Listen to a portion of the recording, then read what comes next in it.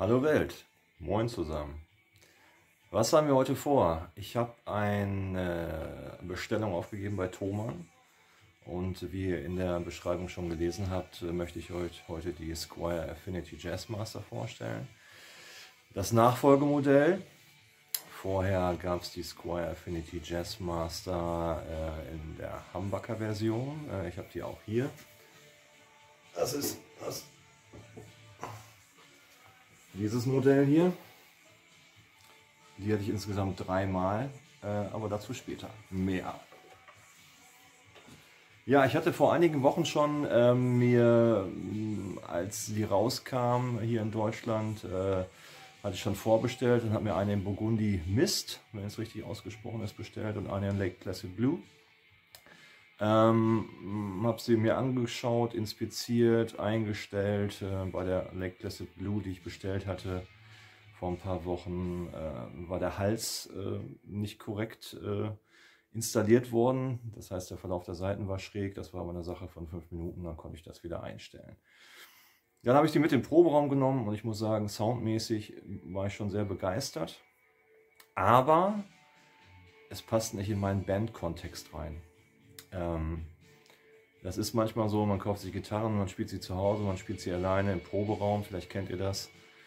Und dann hat man die erste Probe zusammen und denkt sich, äh, nee, das klingt einfach nicht im Gesamtkosmos der Band.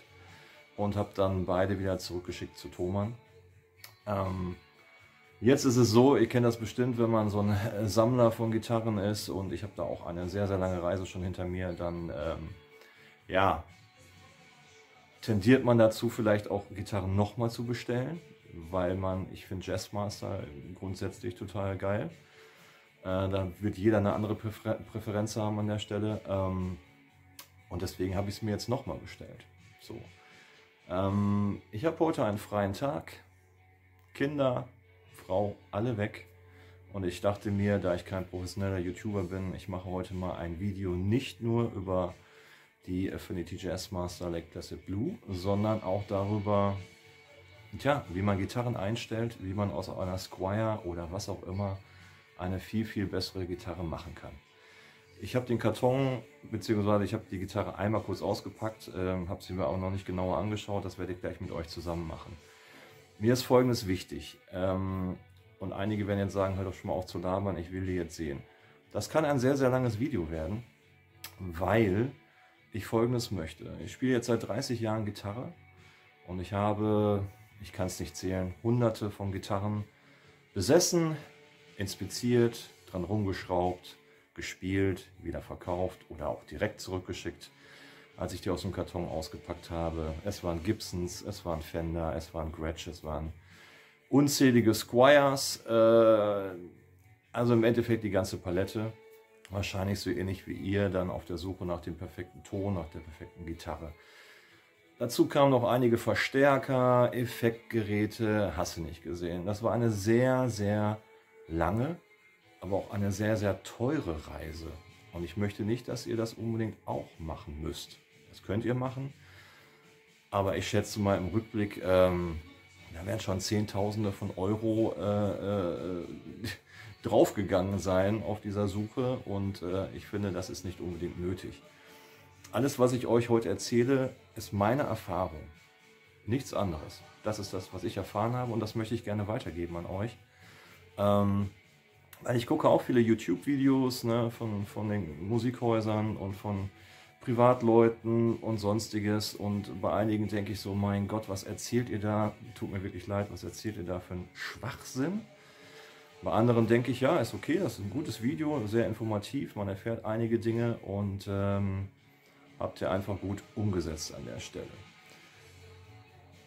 Gut, wir machen da jetzt erstmal einen Punkt. Ich habe folgendes vor, wie gesagt, ich packe die jetzt aus, ich inspiziere die mit euch zusammen, ich stelle die mit euch zusammen ein, diese Gitarre, sag euch, was man machen kann, wie gesagt, um eine Gitarre out of the box, wie man so schön sagt, besser zu machen. Und ganz ehrlich, man muss immer was dran machen. Also ich hatte Gitarren auch von Gibson und Fender und hast du nicht gesehen? Also in der Preisrange so bis 1000 Euro. Ja, das war dann immer meine Schmerzgrenze. Äh, die habe ich ausgepackt und habe gedacht, was habt ihr denn da gemacht in der Fabrik? Also hattet ihr, es kann ja auch nicht sein, dass ihr einen schlechten Tag hattet, weil ich hatte mehrere auch von dem gleichen Modell mir mal bestellt und angeguckt. Da kann ich euch auch noch ein paar interessante Fakten zu sagen, weil jede Gitarre irgendwie etwas anders ist an der Stelle. Ähm, ja, aber lasst uns einfach mal beginnen. Also, hier ist der Karton. Der Squire Affinity Jazzmaster Blue. Packen das Ding mal aus.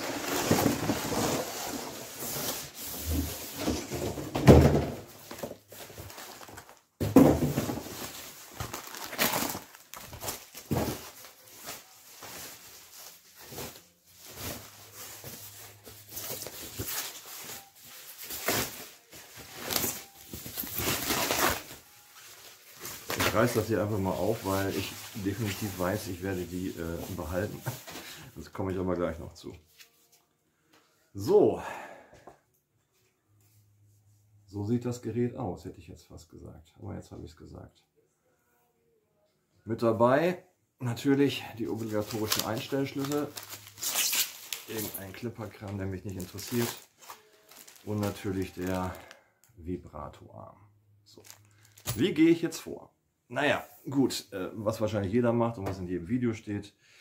Man guckt da erstmal so oberflächlich drüber ne, und denkt sich so, okay, sind keine Kratzer, keine Beschädigungen zu sehen. Gibt es ja auch manchmal, dass in der Endkontrolle jemand geschlafen hat, weil er nicht genug Kaffee getrunken hat und dann was übersehen hat und dann wird das Ding eingepackt und losgeschickt. So, ich sehe hier eine Mini-Delle, aber ganz ehrlich, und äh, das muss ich direkt vorausschicken, das ist mir alles überhaupt nicht wichtig. Also es mag Leute geben, ich kann das auch nachvollziehen, wenn man, sage ich jetzt mal, eine Gitarre für 1000 Euro bestellt und man packt die aus und denkt, da ist ein Kratzer, da ist eine Delle. Das kann ich verstehen. Würde ich auch direkt zurückschicken und sagen, dann mal für 1000 Euro. Da verlange ich aber, dass dann zwei Leute drüber gucken und sich das nochmal genau angucken. Einer Squire für 249 Euro, ey, Dellen kommen da sowieso rein. Letzten Endes ist es ein Gebrauchsgegenstand. Ähm, ja, ist das 2021er Modell in China. Viele sagen ja China, ja mein Gott, also China ist jetzt, das sind jetzt, wer nicht so gute Gitarren macht, das kann ich nicht so bestätigen. Ähm, wobei ich nach meiner Erfahrung Sachen sagen muss, wenn es wirklich um, um äh, die äh, asiatischen Länder geht, ähm, die besten Erfahrungen habe ich mit äh, Vietnam gemacht. Also Made in Vietnam war immer war immer super.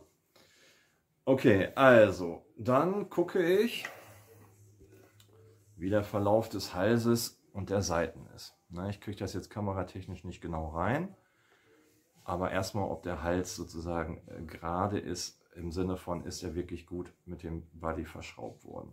Es kann sein, dass ihr, und jetzt wird es wieder schwierig, ja, dass ihr dann so einen komischen Verlauf, ich mache, deute das jetzt mal an, habe, dass nämlich zum Beispiel jetzt hier die tiefe E-Seite von oben nach unten immer breiter wird. Würde auch bedeuten natürlich, dass die hohe E-Seite dann irgendwann so raus wäre. Das wäre natürlich eine Extremsituation. Aber was ich damit sagen will, wichtig ist, dass ihr euch diesen Verlauf hier anguckt. Ja, den Abstand zwischen, zwischen dem Ende des Halses und der E-Seite, dieser Verlauf hier. Ist der gerade, genauso wie bei der hohen E-Seite, ist der gerade oder ist er nicht gerade? Das macht ihr am besten, wenn ihr so jetzt wie ich so drauf guckt. Und ich würde sagen, das sieht gut aus. Ja, das sieht auf jeden Fall gut aus. Dann würde ich, jetzt wird es ein bisschen, wo ihr denkt, naja, äh, das ist doch wohl vollkommen klar. Ähm, manchen ist das nicht so ganz klar. Einmal kurz einstöpseln, bevor man ein Setup macht kurz kontrollieren, funktionieren beide Pickups, funktionieren die einzeln, funktioniert das Volumenpoti und das Tonhöhenpoti. Ähm, ich habe es zweimal erlebt, wo ich mir eine Gitarre bestellt habe und dann, äh, ja, letzten Endes äh, äh, dran rumgeschraubt habe, eineinhalb Stunden, zwei Stunden an der Gitarre eingestellt, eingestöpselt und da ging der hintere Pickup nicht. Und da habe ich mich dann schon sehr geärgert an der Stelle, das kann ich nicht anders sagen. So, also, nachdem das soweit jetzt fertig ist und ich mir hier alles angeguckt habe, finde ich dann immer Folgendes wichtig. Alles, was zwischen Brücke und oben dem Steg passiert. Äh, Steg, nicht Steg. Steg ist hinten. Ne? Wir kommen jetzt hier schon ein bisschen durcheinander. Alles, alles was zwischen der Brücke und, äh, und der Nut, äh, ich habe die ganzen englischen Begriffe, ihr wisst schon, ne, was hier, ich komme nachher noch auf den Begriff. Äh, diese ganzen Anglizismen, da kommt man mit der deutschen Sprache irgendwann nicht mehr hinterher. Alles, was dazwischen passiert und darüber hinaus, beeinflusst den Klang einer Gitarre. So, wenn wir zum Beispiel normale Jazzmaster Einheit hätten, ja, ihr kennt das mit dieser anderen Brücke und den langen Seitenführungen, und ihr die Seiten anschlägt und so stoppt, dann klärt das hier hinten nach. Ja, das ist so gewollt oder auch nicht gewollt damals, 1960, wann auch immer, 58, wann die Jazzmaster rauskam. Das stört einige Menschen, einige Menschen finden, das gehört zum Jazzmaster Sound dazu. Äh, mich stört es eher. Ich habe da so einen Bassstop damals in meine Modelle eingebaut gehabt. Okay, also das erste, was ich eigentlich immer mache, und ich habe hier ein paar Werkzeuge, das sind nicht viele, weil letzten Endes braucht ihr die zwei Sachen, die Imbusschlüssel, das Einstellen äh, der Brücke und eigentlich nur diese beiden Sachen. Das ist einmal ein äh, 10er Maulschlüssel und ein ganz normaler Schraubendreher, sagt man. Ich bin ja schon 49 Jahre alt, da sagt immer noch Schraubenzieher. Nein, das heißt Schraubendreher. Als erstes, was ich tue, ist diese vier Schrauben anziehen. Warum mache ich das? Nun ja, es gibt ja Schraubhälse, es gibt verleimte Hälse und bei Schraubhälsen, die werden ab Werk nicht volle Kanne angezogen, also nicht sehr stark angezogen, manche schon, manche nicht, das ist bei jeder Gitarre ein bisschen unterschiedlich. Aber letzten Endes ähm, schwingt ja, der ganze Body schwingt ja mit. Und der Hals natürlich auch. Wenn das jetzt hier so ein bisschen rappelt und nicht wirklich fest miteinander verbunden ist, verliert ihr Sustain. So, und das möchte ich nicht. Und von daher schraube ich jetzt erstmal diese vier Schrauben. Ihr seht schon, man kann da schon noch ein bisschen was dran drehen. Erstmal fest. Oh, da haben wir einiges noch zu drehen. Da auch. Ja, nicht übertreiben. Ihr kennt ja den Spruch, nach fest kommt ab. Aber bei diesen dicken Schrauben das habe ich, glaube ich, in, bei meinen Hunderten von Gitarren noch nicht geschafft. Eine Schraube.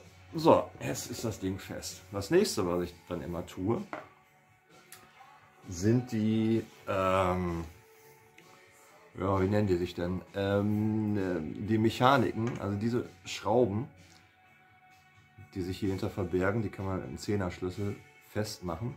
Die werden ab Werk auch nie richtig festgemacht. Und einmal im Jahr stelle ich alle meine Gitarren kriegen die so ein kleines, ja, eine kleine Kuscheleinheit von mir und werden ein bisschen gepflegt und dann werden auch diese Schrauben nachgezogen. Weil, wenn ihr viel spielt, die ganze Gitarre vibriert, auch diese Schrauben lösen sich irgendwann ein wenig. So. Ich tue das jetzt im Hintergrund mit dem Wissen schon, und ich verrate das jetzt schon, ich werde diesen Hals nicht behalten. Komme ich aber gleich zu. So, dann ich versuche das mal von oben zu machen. Zehner ist auf der Seite. Setzen das hier an.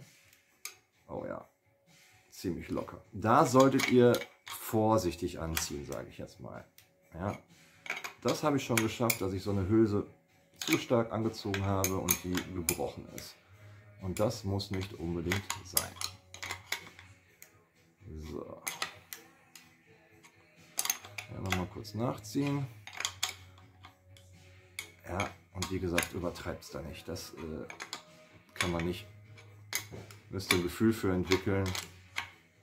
Aber wenn ihr da nicht zu rabiat dran geht, dann äh, geht das schon klar.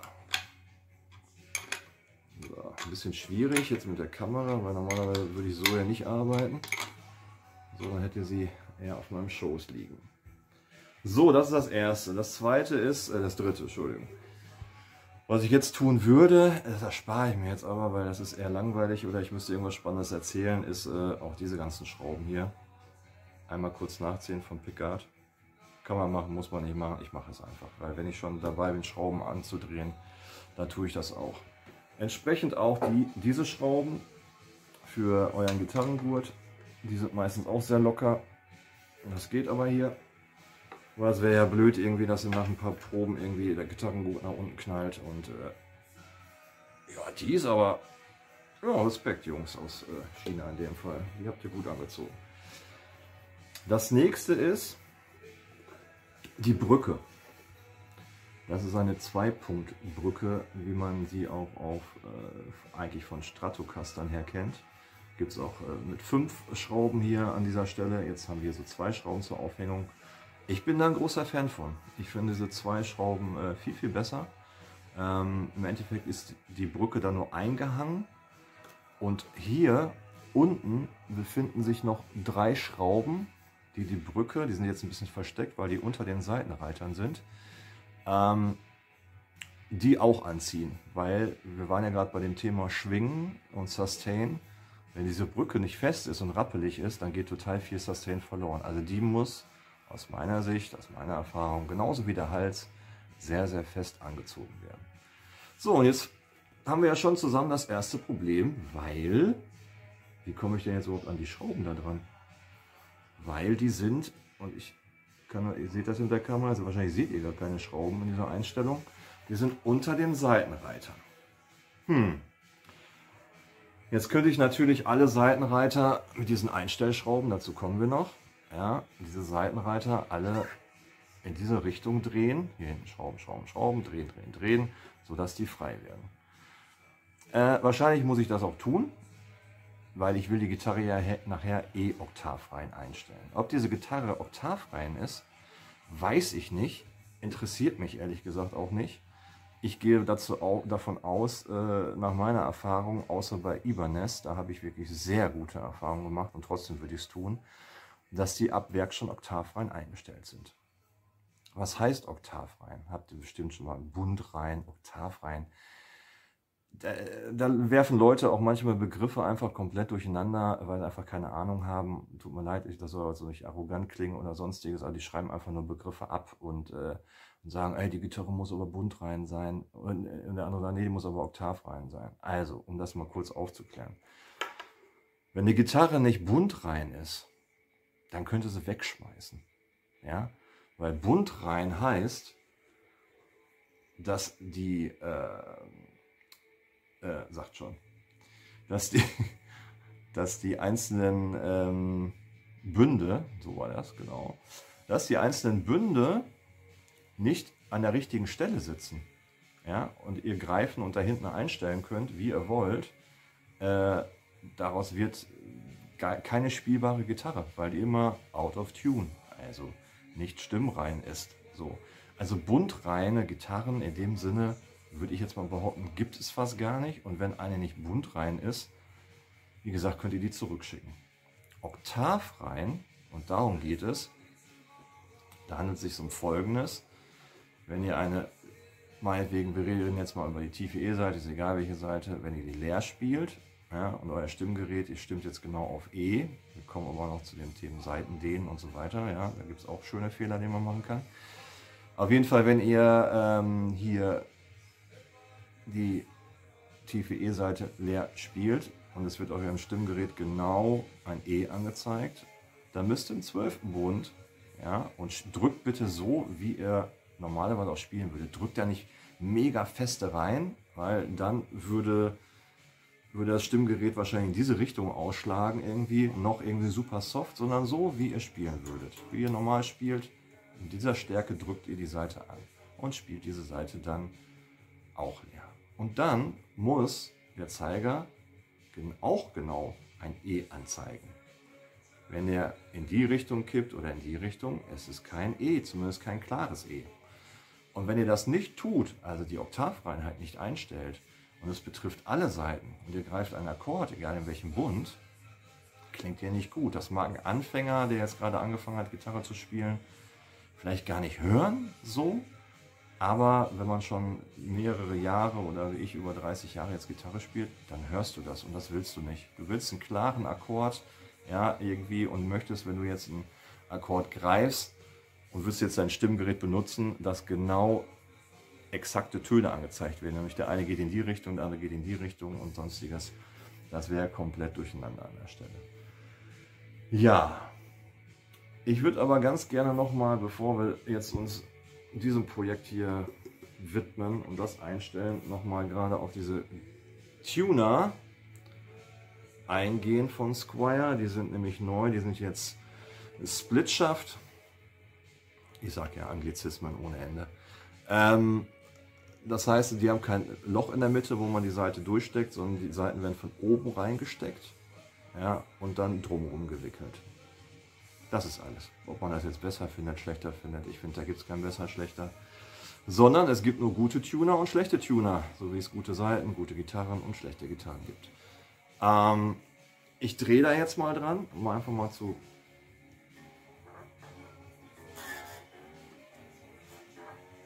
Okay, die scheinen kein Spiel. Naja, doch, die haben auch Spiel. Ja, was bedeutet Spiel? Also, mh, hm, letzten Endes müsst ihr auf dieses kleine Köpfchen gucken. Ne? Das dreht sich ja, wenn ihr hier dran dreht. So.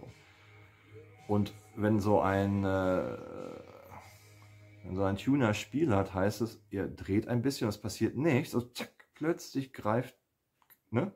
Was, wie soll man es erklären, Mensch?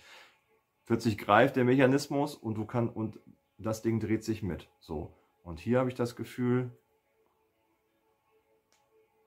ja, da ist ein bisschen Spiel, bis er zupackt. Das ist halt, wenn man eine günstige Gitarre kauft, in dem Fall eine Squire. Das macht aber nichts. Das hat nichts damit zu tun, dass die Gitarre oder beziehungsweise, dass diese Tuner die Stimmung nicht halten. Das hat darauf gar keinen Einfluss. Ähm, sondern es ist einfach nur, finde ich, und das ist dann auch ein Qualitätsmerkmal, ein sehr komisches Gefühl ja, für einen selber, wenn man anfängt, seine Gitarre zu stimmen und man hat immer so, so ein Spiel, das fühlt sich einfach, viele können das, das fühlt sich einfach nicht gut an, das fühlt sich billig an und äh, möchte man, also man nicht, also möchte ich nicht. Ich spreche hier nur von mir. Ähm, okay. Wie ihr aber Tuner, auch günstige, nochmal in der Stimmstabilität verbessern könnt, das geht ganz einfach. Nämlich mit diesen Schrauben, die da drauf sitzen. Ja, weil manchmal, wenn ihr ab Werk eine Gitarre auspackt und denkt so, ja, der hat diese, dieser Tuner den Widerstand, der Tuner den Widerstand, oh, der hat ja einen total leichten Widerstand. Äh, das ist nicht richtig. Richtig im Sinne von, die sollten schon alle beim Stimmen das, das gleiche Gefühl sollte man haben und nicht eine ist mega fest und die andere dreht sich mega leicht. Ja? Ähm, und um die Stimmstabilität zu verbessern von günstigen Tunern, mache ich es so, ja, dass ich diese Schrauben möglichst fest drehe, macht aber nicht zu fest, weil wenn ihr neue Gitarrenseiten aufzieht und dann das Gefühl habt, so, ey, das Ding bricht gleich ab beim Drehen, dann habt ihr das auf jeden Fall, diese Schraube hier oben am Kopf, zu fest gedreht, sondern eher, dass sie einen guten Widerstand hat und so weiter und so fort. Mache ich jetzt nicht, weil wie gesagt, dieser Hals, der kommt ein anderer drauf. Vielleicht machen wir da direkt weiter. Ähm, ich schnapp mir mal gerade meine Affinity Jazzmaster. Oh, genau. Dieses Modell hier. Ähm, ja, vielleicht muss ich da kurz was einschieben. Äh, und zwar folgendes. Ich habe ja vorhin erzählt, dass ich ja, ganz, ganz viele Gitarren schon hatte, immer auf der Suche nach einem perfekten Ton und dann den Verstärker und dann die und dann klang die Gitarre nicht und dann sonstiges und dann irgendwann war mal den Sound satt, wie auch immer. Es ist so, und das muss ich auch gleich vielleicht als Erfahrung vorausschicken, kauft euch, wenn ihr mit Gitarre anfangt zu spielen oder auch wenn ihr schon spielt, spart Geld und kauft euch einen richtig, richtig guten Verstärker. Ja, allein dieser Tipp ist 2000 bis 5000 Euro wert. Weil, meiner Erfahrung nach, ich hatte Verstärker, die waren vielleicht gar nicht schlecht, PV Classic 50 fällt mir gerade ein, zum Beispiel oder so. Oder auch andere Verstärker. Mein erster war, äh, dem traue ich übrigens noch sehr, sehr nach. Mein allererster Röhrenverstärker war Marshall JCM 2000 DSL 100. Äh, den fand ich damals überragend. Ähm, aber egal weil es ist wirklich so, dass auch günstige Gitarren. Und günstig heißt nicht schlecht und teuer heißt nicht gut. Ja? Aber meinetwegen, man spricht ja immer von günstigen Gitarren, klingen auch über sehr gute Verstärker sehr gut. Aber eine 2000 Euro Fender klingt über einen nicht guten Verstärker nicht gut. Das ist schon alles. Das ist die einzige Logik dahinter. Also von daher ein guter Verstärker und ja, was ist jetzt ein guter Verstärker? Wenn ihr mich jetzt persönlich fragen würde, auf jeden Fall ein Röhrenverstärker. Ich hatte schon auch einige Transistoren. Hier vorne steht auch kleiner, so ein kleiner, so ein Boss Katana. Den benutze ich nur für zu Hause. Da würde ich mich niemals mit auf die Bühne stellen. Aber ähm, auf jeden Fall ein Röhrenverstärker und bitte dann auch von einer guten Marke. Ja, was ist eine gute Marke? Die bekannten Marken. Marshall, Orange, was auch immer. So, spart darauf und kauft euch einen, ob jetzt als Combo oder als, als äh, wie heißt das denn noch? Hier, als Head, ne? Ihr wisst schon irgendwie, wo ihr dann äh, dementsprechend noch eure Lautsprecherbox noch dazu kaufen müsst. Ähm, aber macht das so, weil und jetzt kommt der Clou, nach dieser ganzen Reise, und das sind ja auch nur meine Ohren und so wie ich Sound wahrnehme, das macht ja jeder anders. Einer sagt, Mensch, deine Gitarre klingt total grell und der nächste sagt, geil, oder? Klingt super. Genauso soll sie klingen. Naja, auf jeden Fall, auf, am Ende meiner langen Reise ist die Squire Affinity Jazzmaster HH, HH, Humbucker, Humbucker, meine Hauptgitarre. Ich finde diese Gitarre überragend aus vielerlei Hinsicht. Ähm, einmal, und ähm, ich sagte ja, es könnte ein langes Video werden, aber wir kommen auch wieder gleich zu der Black Classic Blue Jazz Master. Erstmal finde ich äh, überragend, dass sie ein String-Through Body hat. Das finde ich grundsätzlich immer gut, weil dann der Body viel besser mitschwingt, äh, das Schwingungsverhalten viel, viel besser ist. Dann finde ich die Humbucker überragend. Aber wie gesagt, nur ich, ich finde die überragend. Ich hatte schon viele Hamburger von äh, Seymour Duncan und die, die Masio und wie sie alle heißen und eingelötet und ausgelötet oder wie man das auch mal nennen möchte. Also eingebaut, ausgebaut. Und ähm, ja, war nie wirklich zufrieden. Vor allen Dingen nie zufrieden ähm, mit Hamburger mit den Metallkappen vorne drauf. Ich mag diese offenen Hamburger, die nicht die Metallkappen drauf haben. Erzählen jetzt wieder wahrscheinlich andere, ja, das ist aber irgendwie Voodoo, dass die irgendwie ein bisschen dumpfer klingen und sonstiges. Mag alles sein. Ich mag den Sound einfach nicht. Das ist meine persönliche äh, Einschätzung. Ähm, ich finde die deswegen überragend, weil die relativ hell klingen, äh, nicht zu mumpfig bassig, eine gute Mittenpräsenz haben und für mich klingen die so ein bisschen Single-Coil-mäßig. Also die klingen so wie Single Coils und äh, wieder Anglizismus, Achtung, Steroid. Also haben schon auch einen hohen Output, aber haben eine unglaublich gute Brillanz. Und äh, ich habe im Keller, ich glaube, noch zwei oder drei Paar von diesen Hamburgern liegen, weil irgendwelche Leute bei eBay Kleinanzeigen warum auch immer, diese Hamburger nicht mochten und dann kaufe ich die für 10, 15 Euro und denke so, ja, falls mal irgendwann einer kaputt geht, mir ist noch nie ein Hamburger kaputt gegangen, aber ich hoffe, ich lebe noch 40 Jahre, ne? wenn es dann da mal passiert, dann kann ich die ja wieder einbauen. Das ohne Probleme. Das nächste, was ich an dieser Gitarre überragend finde, ist der Hals. Tja, warum findest du den jetzt überragend? Natürlich ist das auch, ich finde, für meine Hände, ja, finde ich den total super relativ flach, aber nicht zu dünn. Lässt sich super greifen und was ich vor allen Dingen sehr, sehr liebe, sind satinierte Rückseiten von Hälsen. Ne? Die gibt es ja auch lackiert und es gibt die satiniert. Ähm, auch wieder Anglizismen, ich weiß, braucht ihr mich nicht darauf hinweisen.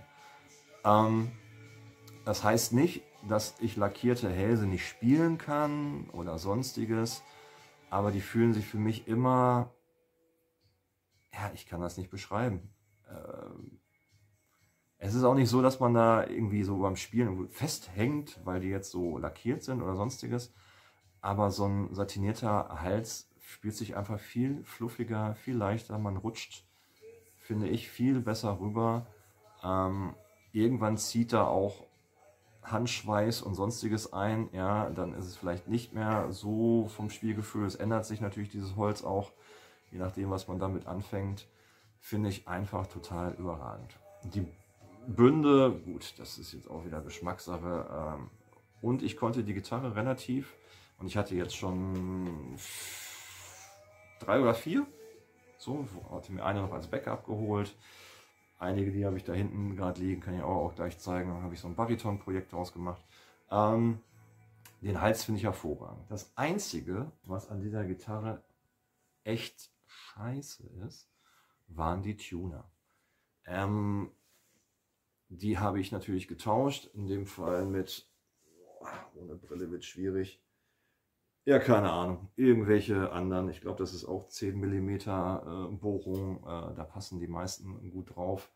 Und seitdem äh, ist die Gitarre auch super stimmstabil. Ich, die liegt drei Wochen im Keller. Ich komme im Proberaum. Und äh, ab, abgesehen von Temperaturschwankungen, ne, die natürlich ähm, ne, auch einen Einfluss haben, aber die ist eigentlich immer noch super gestimmt. So.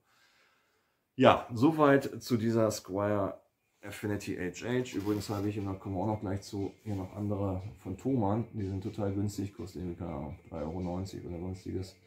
Ähm, noch andere äh, Tonproti-Kappen drauf gemacht, die ich äh, tausendmal schöner finde als diese hier, die normalerweise auch auf dieser weißen drauf waren. Ja, die sehen irgendwie im Vergleich, finde ich, äh, ja, ziemlich billig und klein aus. Aber das ist Geschmackssache. So, legen wir die mal wieder weg. Oh, jetzt kommt auch noch die Sonne raus, Mensch. Seht ihr mich noch? Ja. Okay, was machen wir jetzt als erstes? Ich würde sagen, wir machen jetzt folgendes. Äh, ich mache mal eine kurze Pause. Ich äh, trinke mal was, weil ich habe jetzt seit einer halben Stunde nur durchgesabbelt. Und in der Zeit schmeiße ich die Seiten runter. Das mache ich übrigens bei jeder äh, Gitarre, weil diese Seiten ab Werk, es wird ja überall dran gespart. Äh, auch wenn das Markenseiten sind, äh, man weiß nie, wie so eine lange so eine Gitarre gelagert hat. Da hatte ich schon auch verrostete Seiten. Äh, es war ist egal. Auf jeden Fall fürs eigene Gefühl. Seiten runter, werden jetzt runtergeschmissen und äh, dann sehen wir uns gleich wieder. Bis gleich, ciao. So, welcome back. Äh, um mit den Anglizismen gleich weiterzumachen. Ja, ich habe jetzt äh, die Seiten runtergenommen und habe auch schon den Hals abgeschraubt. Das sieht dann folgendermaßen aus. Hier ist jetzt nur noch der Body. So kann man nichts Besonderes erkennen. Das Einzige, was ich noch nie gesehen habe, eine Weltpremiere und ich weiß auch nicht, wofür das gut sein soll, ich habe keine Ahnung, als ich die Neckplate abgenommen habe, sieht man ja die vier Schrauben und eine mir, warum auch immer, nicht ersichtliche Vertiefung, die dann auch noch äh, blau lackiert worden ist. Kann man sehen, ne? Genau. Ähm, und hier ist jetzt der alte Hals. Beziehungsweise nicht der alte Hals, also der von der neuen Squire Affinity Jazzmaster. Und wie ihr seht, das sind relativ dicke, ich gucke immer hoch, weil ich das gleichzeitig auf dem Fernseher spiegle, damit ihr das alles sehen könnt, relativ dicke äh, Bünde drauf. Jetzt im Vergleich zu der Affinity Jazzmaster Humbucker. Da habe ich hier auch noch einen Hals. Äh, die sind dünner. Ist jetzt ein bisschen schwierig, das im Vergleich beide hochzuhalten, glaubt mir einfach. Macht keinen Unterschied. Ich mag grundsätzlich eher dickere Bünde. Ähm, fragt mich nicht warum, einfach vom Spielgefühl her finde ich die besser. Warum will ich den Hals tauschen? Tja, da ich ja wie gesagt schon mal zweimal dieses Modell bestellt hatte, mein Kritikpunkt an diesem Hals und Shame on You Squire äh, ist der sogenannte Skunk Stripe. Also dieses hier, was den Halsstab, wird ja ein Halsstab eingelassen oder eingebaut und dann wird aus einem anderen Material, meistens in dieser dunkleren Holzfarbe, wird das wieder neu miteinander verleimt, wie auch immer. So. Grundsätzlich gibt es das auf ganz, ganz vielen Gitarren. Aber in diesem Fall, was mich total gewundert hat, ist, wie ihr das vielleicht erkennen könnt. Ich halte es mal vielleicht mal ein bisschen so. Seht ihr, wie grob das Holz ist? Und das merkt ihr, wenn man da jetzt mit dem Finger rüber fühlt, satinierter Neck, Ahorn, total schön. Und dann kommt ihr da drüber und denkt so, hä, ist jetzt eine Kante? Also es fühlt sich beim Spielen echt scheiße an, auf gut Deutsch. Äh, vielleicht kann man noch was machen irgendwie, wenn man hier noch ein bisschen ähm, äh, das, schon, also das Holz poliert mit, mit es gibt ja so Schwämme irgendwie, wo man ganz wenig Holz auch abtragen kann irgendwie, dass man das noch ein bisschen runder gestalten kann. Aber was bleibt, ist ja die Holzstruktur und das merkt ihr einfach. Vielleicht merkt ihr das irgendwann beim Spielen nicht mehr, aber wenn ihr so den Hals einfach anfasst, äh, denkt ihr, und das habe ich auch schon in anderen Videos gesehen, wie gesagt, ist jetzt die dritte Squire Affinity Jazzmaster aus der neuen Serie. Und ich glaube, ich hatte auch die Squire Tele Deluxe mir bestellt in Burgundy Mist. Äh, auch wieder zurückgeschickt, aber aus soundtechnischen Gründen. Äh, das stört und nervt einfach. So, und von daher habe ich mir überlegt, hm, den Hals verkaufe ich, ist an sich ja kein schlechter Hals, nur mich persönlich stört dieser Hintergrund hier. So. Hier haben sie den Halsstab irgendwie anders eingebaut. Frage mich nicht technisch, wie das geht. Auf jeden Fall äh, seht ihr hier keinen Skunk Stripe und sonstiges. Äh, die haben sie wahrscheinlich von der anderen Seite. Ist hier ein Loch drin, haben den dahinter irgendwo den Halsstab eingesetzt. Äh, ja, fühlt sich natürlich viel, viel besser an. So, und ich habe, jetzt kommt nämlich das erste Ding, so ist das immer, wenn man Projekte vorhat und sich alles so schön vorstellt und dann mache ich das und dann mache ich das äh, habe ich gerade schon bemerkt, äh, wir haben ein Problem. Also ich habe ein Problem, weil ich wahrscheinlich diesen Hals behalten muss, der an der Original Squire dran ist. Aber, um meine Überraschung vielleicht noch ein wenig zu erklären, ist folgendes. Ah, dies hier ist keine Squire Affinity Jazzmaster Humbucker, sondern das ist eine Bariton-Gitarre. Äh, könnt ihr mal in anderen Videos sehen. Äh, ich fand, äh, eigentlich war hier mal so ein surfgrüner Korpus mit zwei, äh, war das P90? Ja, ich glaube schon äh, P90 äh, Pickups drin. Ähm, ich fand den Sound viel zu höhenreich. Ich fand den Sound, es rauschte wie Sau im Proberaum, war total abgenervt und habe den Buddy komplett bei eBay Kleinanzeigen verkauft. Einer war total glücklich, hat den für 200 Euro geschossen. Und ich habe nur den Hals mit der längeren äh, Mensur behalten.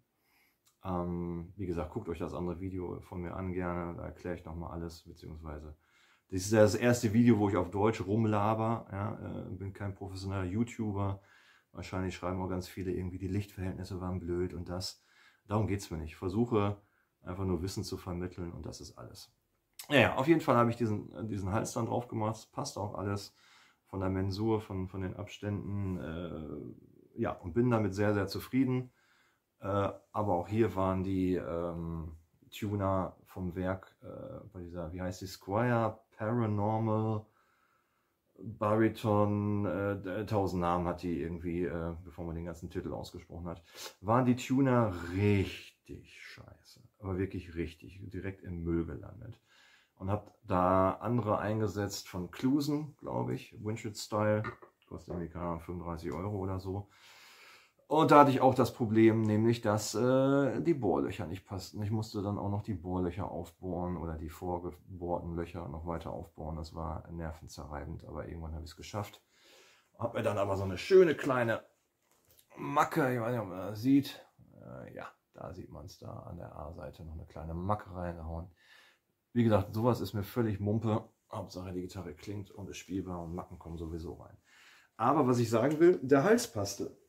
Der passte von dieser Bariton, passte super auf die Squire Affinity Jazzmaster. Und jetzt, Leute, wollte ich gerade auf die äh, Squire Affinity Korpus den alten Affinity Hals drauf machen und er passt nicht. Und äh, Muss mal gleich mal gucken, wie ich das irgendwie äh, hinkriege. Wartet mal, ich suche mal eine andere Kameraeinstellung. Machen wir kurz nochmal Pause hier. So. So, so könnt ihr es vielleicht besser sehen und auch meine Plauze. So, ähm, ja, ich habe mir schon, gerade als ich in der Pause das einmal kurz angetestet habe, hier so eine kleine, kleine, äh, wo ist es denn da? Eine kleine Macke da reingehauen. Das ist mir ehrlich gesagt auch Mumpe, aber ich möchte, dass dieser Hals darauf passt. So, das Problem hatte ich ehrlich gesagt noch nicht. Weil Hälse habe ich noch nicht so viele tauschen wollen. Normalerweise ist es kein Problem, dass man die einfach einsetzt, aber da fehlt so viel, wir reden jetzt hier nicht irgendwie vom, keine Ahnung, halben Millimeter oder sonstiges. Ähm, da würde ich wahrscheinlich, wenn ich das jetzt einfach mit Gewalt versuche, wird dieses Stück, und das ist ja ein sehr, sehr wichtiges Stück hier, das ist ja total dünn. Ja, ihr seht das hier. Äh, würde ich dann wahrscheinlich abbrechen. So, und das ist ja nicht Sinn der Sache. Ich kann es jetzt gerade noch einmal probieren. Aber ich täusche mich ja nicht, egal wie ich es probiere.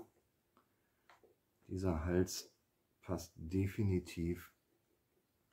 Da fehlt echt einiges. Also wir reden hier bestimmt mindestens von 1 bis 2 Millimetern. Ja, es ist so wie es ist. Äh, das, ähm, den Schritt hätten wir uns quasi sparen können. Sehr, sehr schade. Das heißt, ich muss mit diesem Skunk Stripe leben. der passt hervorragend. Das ist ja auch der alte. Naja, schrauben wir den gerade mal dran. Und kann ich in der Zwischenzeit vielleicht auch mal ein paar andere wichtige Infos, die ich so gesammelt habe, in den letzten 30 Jahren weitergeben. Sprechen wir doch über das spannende Thema Tonholz. Ja, es gibt ja dazu mannigfaltige Videos auf YouTube. Ja, es gibt ja, wie ihr wisst, es gibt Erle Buddy, Esche Buddy, Mahagoni, äh, dieses Poplar, ich weiß gar nicht, was es auf Deutsch übersetzt, äh, eher so eine günstige Variante. Ich glaube, das ist auch Poplar. Ich bin mir relativ sicher, dass bei der alten Affinity Jazzmaster sogar ein Erle-Korpus war. Aber das sind alles so Sachen, die sammle ich nicht unbedingt. Was ich damit, was ich sagen will, ist, behaupten ja einige Tonhölzer, äh, Mahagoni klingt anders äh, als Erle und er klingt wieder anders als Esche und hast du nicht gesehen, ähm, dafür müsste man ja folgendes Experiment machen, dafür müsste man ja quasi ein, ein, also in dem Fall jetzt zum Beispiel von dieser Affinity Jazzmaster hier, den gleichen Korpus in der gleichen Bauform, also exakt den gleichen, nur aus Mahagoni haben und halt den hier. Und dann müsste man die Gitarre auch exakt gleich einstellen. Gleiche Seitenstärke, Pickup-Höhe etc. pp. Ich glaube, irgendjemand hat das auch mal gemacht. Ich glaube sogar ein deutscher YouTuber, wenn mich nicht alles täuscht. Und er hat auch gesagt, er hört einen Unterschied. Naja gut, ihr werdet jetzt dieses Video ja sowieso euch äh, wahrscheinlich über Kopfhörer oder über ein Smartphone anhören. Also ich aus meiner Erfahrung kann sagen, ich habe da noch nie irgendwie einen Unterschied wirklich rausgehört. Es mag Leute geben, die das können. Ich bezweifle das ganz ehrlich. Einfach, ich bezweifle es einfach. Ich weiß es nicht. Ich möchte eigentlich hier in dem Video über Sachen sprechen, die ich wirklich weiß. Äh, aber an anderen Sachen habe ich dann auch einfach mal Zweifel. So, vor allen Dingen im Blindtest. Ja, ihr kennt vielleicht den Kanal Andertons. Das ist jetzt keine Werbung, sondern einfach, finde ich ganz amüsant, was die beiden Jungs da machen. Und ähm, die haben ja ganz viele Blind-Tests. Guckt euch einfach mal an, ist echt ganz witzig.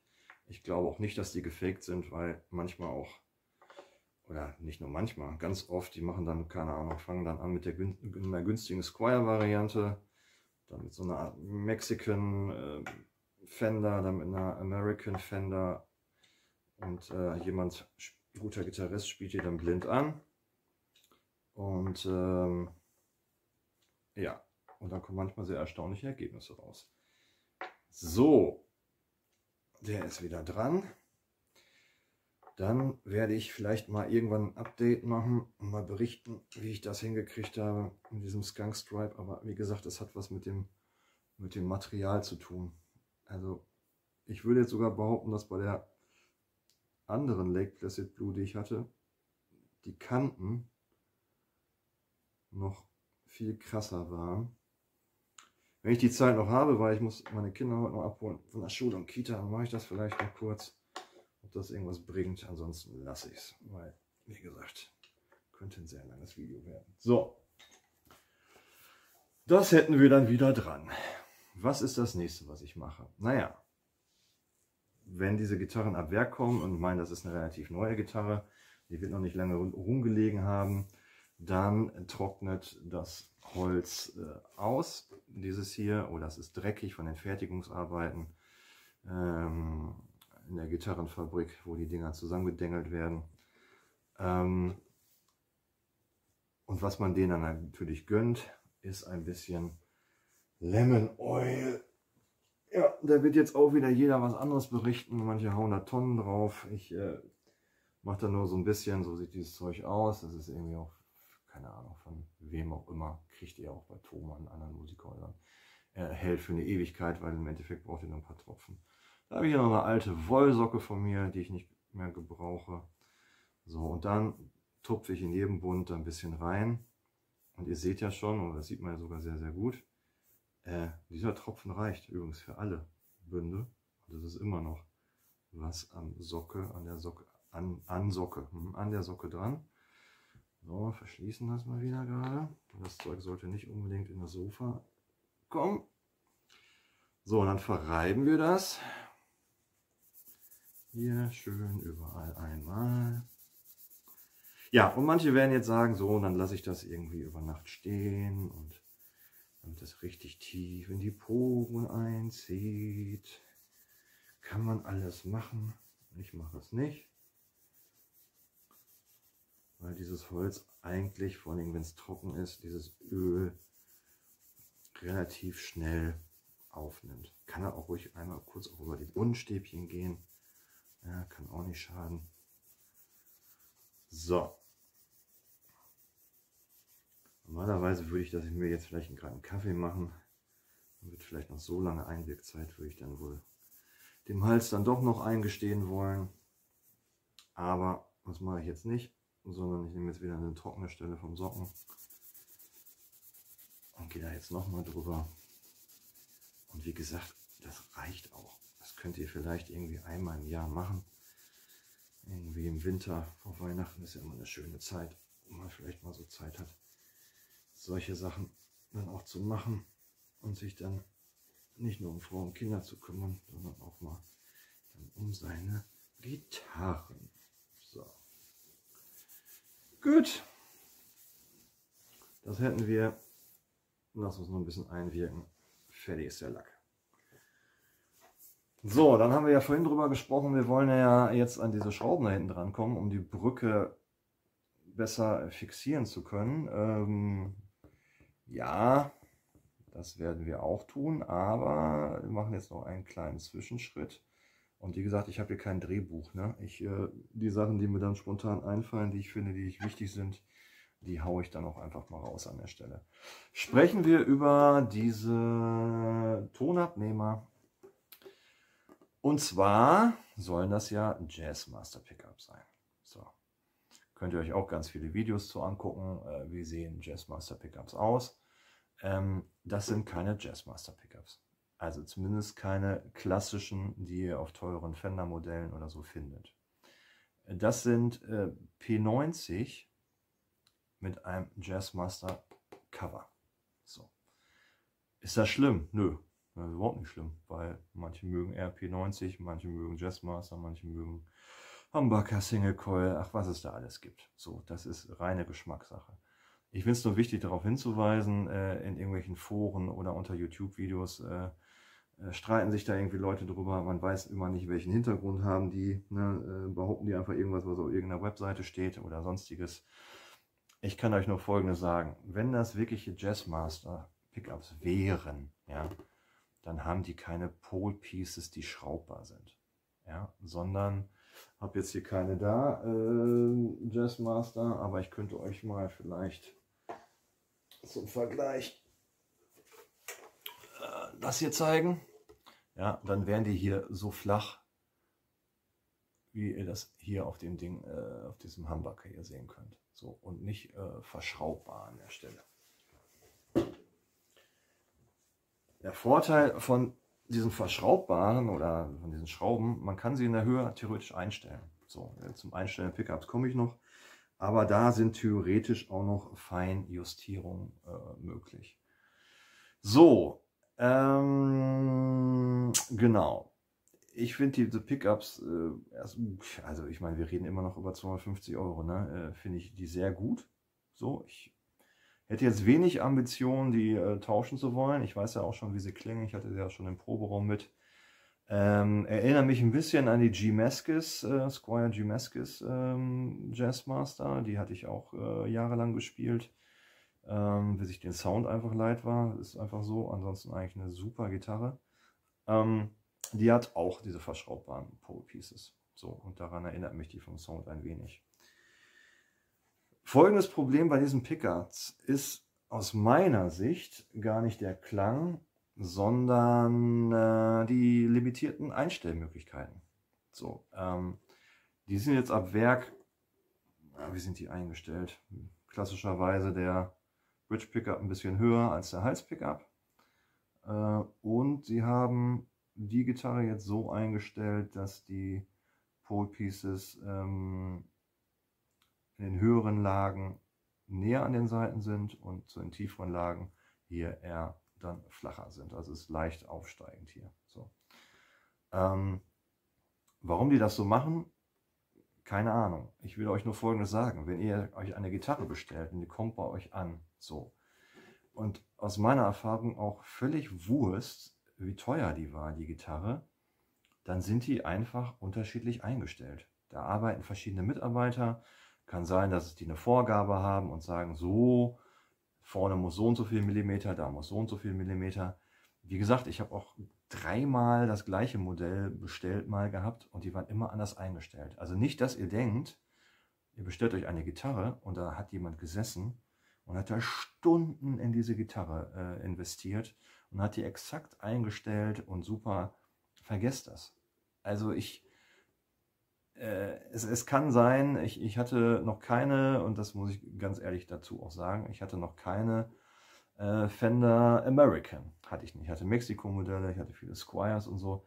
Kann sein, dass das ab 1200, 2000 Euro aufwärts, dass es da so ist, dass da Menschen sitzen, die sich diese Zeit nehmen.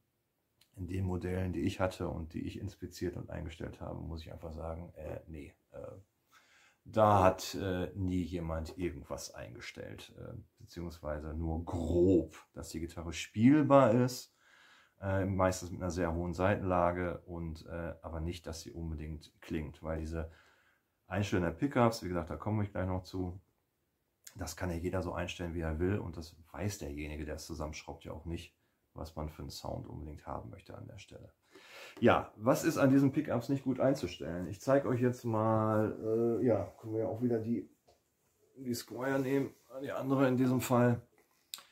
Ähm, hier braucht ihr nur an dieser Schraube zu drehen. Ne? Dann könnt ihr die Seite des Humbuckers hoch und runter fahren und hier an der gleichen Stelle auch. Das gibt es auch mit zwei Schrauben. Da könnt ihr auch noch den Neigungswinkel, ne? ihr seht ja, das gibt es hier nicht, deswegen ist dieser Humbucker ein bisschen wackeliger ähm, könnt ihr das auch noch einstellen.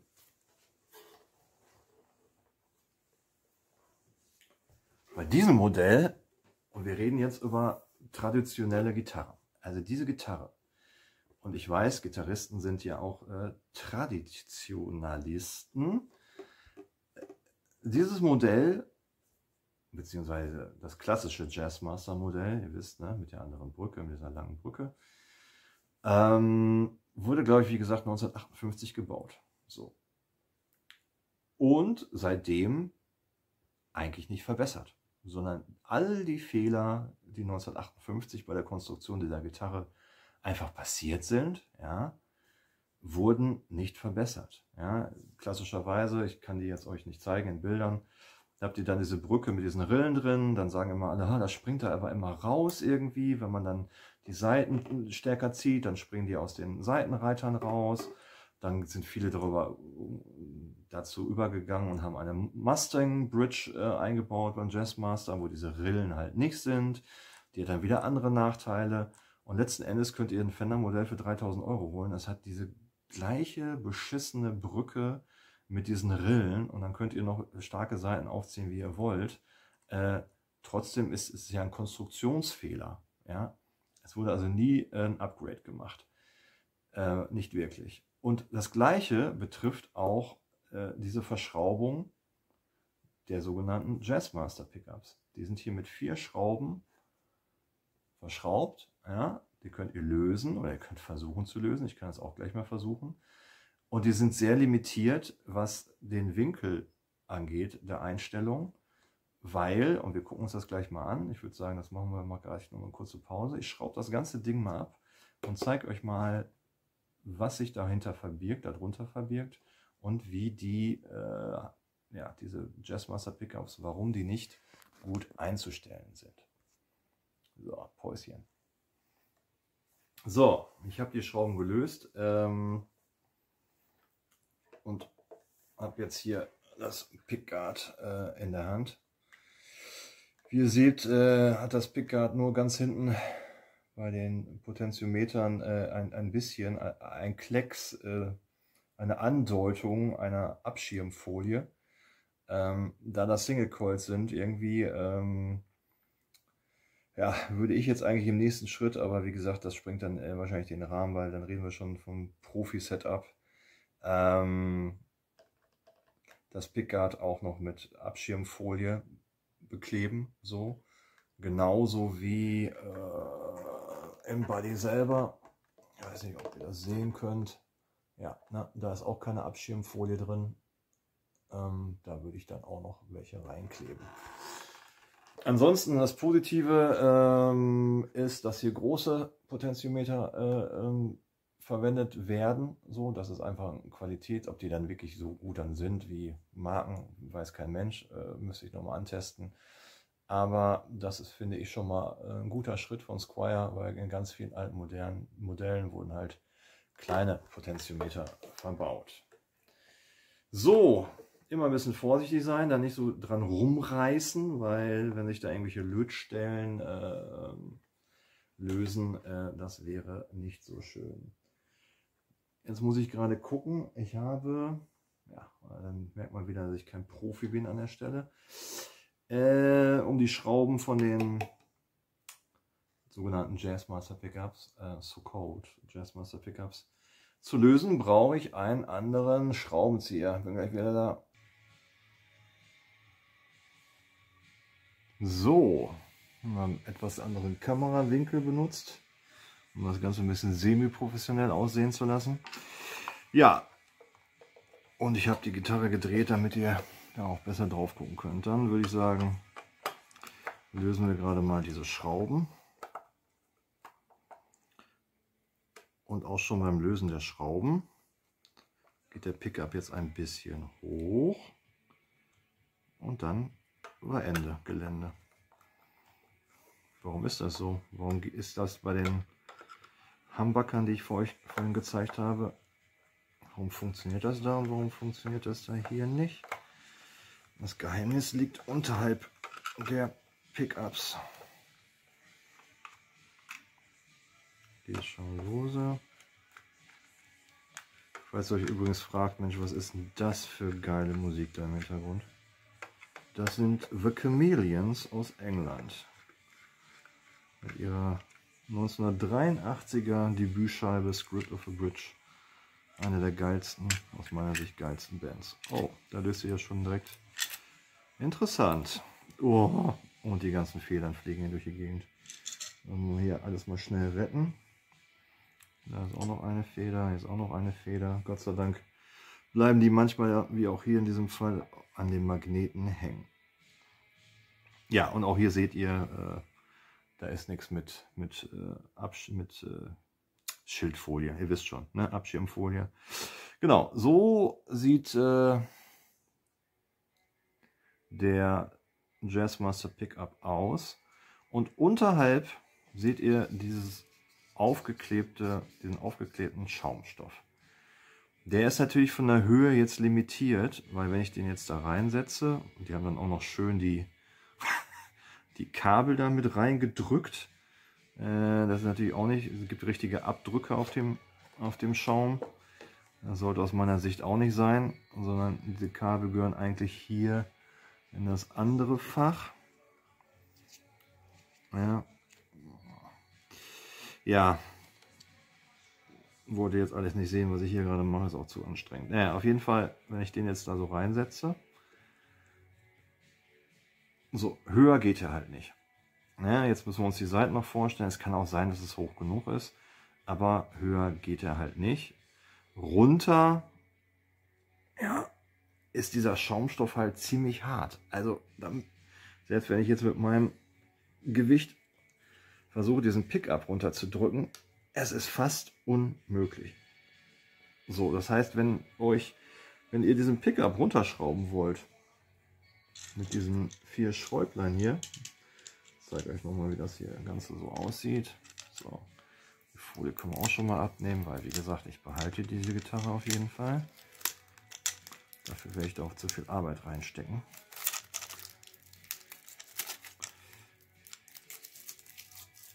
Eine Schraube schon verloren gegangen. Ne, hier haben wir noch eine. So. so, wenn das jetzt wieder da drüber ist ne, und die Schrauben sind nur mit dem Holz verschraubt und ihr versucht die runterzudrücken, dann macht ihr euch die Schraubenköpfe kaputt, weil so viel Druck kann eine Schraube äh, da nicht aufbauen, um diesen Schaumstoff darunter zu drücken. So, das finde ich, das ist bei allen Modellen so, finde ich totale Kacke und da hat einer überhaupt nicht nachgedacht. Was ich mache, ich mache es nicht jetzt, weil wie gesagt, dann sitzen wir morgen noch hier, ist das ab, weg damit, abreißen, die sind nur verklebt, da könnt ihr nichts dran kaputt machen. Und dann nehme ich einen herkömmlichen Haushaltsschwamm, die kennt ihr ja, diese gelben mit der blauen, harten äh, Seite, mit dem man Pfannen schön kaputt machen kann. Den schneide ich mir zurecht in der richtigen Größe. Äh, dieses schwarze, ach, die schwarze, dieses blaue, dieses schwarze, schwarze, blaue, harte Zeug unterhalb des Schwamms, das schneide ich komplett ab, dass ihr nur noch dieses gelbe, manchmal gibt es die Schwämme auch in grün, nur noch das hat, weil das ist viel elastischer als dieser harte Schaumstoff hier. So. Und den packt ihr euch dann da rein ja, der kann auch ruhig über diese äh, Pro Pieces, aber diese Schrauben hier äh, laufen. Das macht nichts. Ihr könnt das aber auch so euch zurechtschneiden. Das macht alles überhaupt nichts, weil damit macht ihr nichts kaputt. So, ihr könnt das ruhig in der Größe dieses Faches machen. Packt das dann da rein.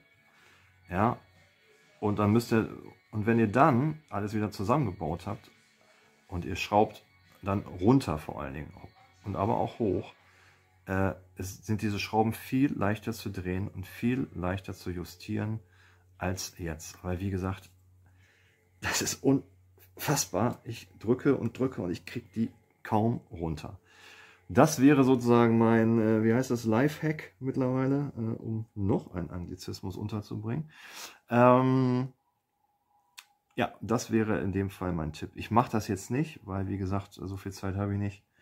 Äh, muss ja noch die Kinder von der Schule und Kita holen. Okay, machen wir hier gerade einen kurzen Schnitt und dann sehen wir uns gleich wieder. So, wir sind wieder on air. Äh, ja, ich habe, äh, wie gesagt, den Pickup jetzt wieder reingesetzt. Äh, muss gleich noch die ganzen Schrauben hier festmachen. Und habe die Zeit genutzt und wollte diese Folie hier noch abmachen, die immer natürlich zum Schutz dient, aber auch nervig abzumachen ist. Ähm, und habe dann folgendes festgestellt, und zwar habe ich diesen Tonregler relativ einfach hier abziehen können, aber den nicht. Was macht man da? In der Vergangenheit war ich so dumm und habe dann nämlich hier Zangen benutzt und hast du nicht gesehen und Metall und Holz ist keine gute Kombination. Immer wenn ihr Werkzeug in der Hand habt und daran rumschraubt an der Gitarre, seid dabei vorsichtig, wenn ihr irgendwelche Schrauben festzieht, ihr rutscht ab. Und dann habt ihr so schöne Kratzer auf der Gitarre, die mich, wie gesagt, nicht stören, Aber so einen richtig fetten, das muss ja auch nicht unbedingt sein. Ja, wie kriegt man die ab? Äh, ja, habe ich auch durch YouTube erfahren. YouTube hat äh, tolle Ideen. Und zwar nehmt ihr einfach ein ganz normales Tuch. In dem Fall habe ich immer gerade ein Trockentuch aus der Küche geholt. Und dann geht ihr da drunter. Das mit der Folie natürlich jetzt echt schlecht. Und dieses Trockentuch hat auch einen echt dicken Rand, dass ich da fast gar nicht drunter komme. Zieht das da einmal so rum. Oh, Leute, ey. Dann will man mal was zeigen, ne? Und dann merkt man, es funktioniert. An dem Trockentuch nicht unbedingt. Habe ich hier noch ein anderes Tuch? Okay, so geht's auch. Ja, ihr habt gesehen, es funktioniert. Also mit einem anderen Trockentuch wäre es vielleicht einfacher gegangen. So, jetzt kann ich ja die restliche Folie, die nervige auch abziehen. Was gerade abmachen.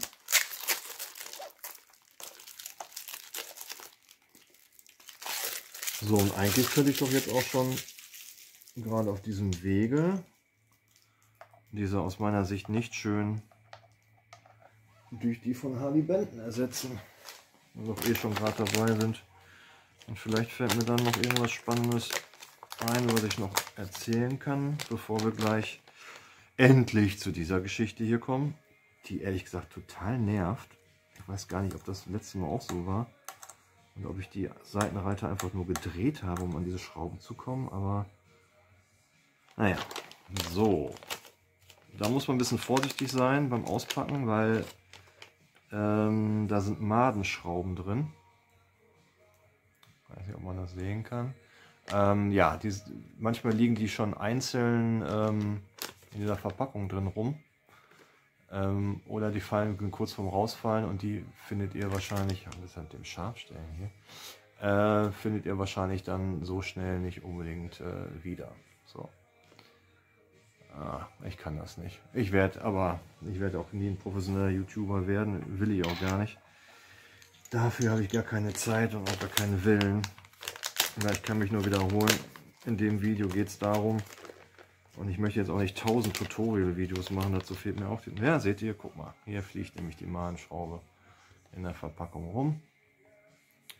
Ähm, mal vorsichtig rausnehmen, weil wenn die auf diesen Teppich fällt, den wir hier haben, dann findest du die nie wieder. So. Vorsichtig da wieder reindrehen. Mit der richtigen Seite am besten.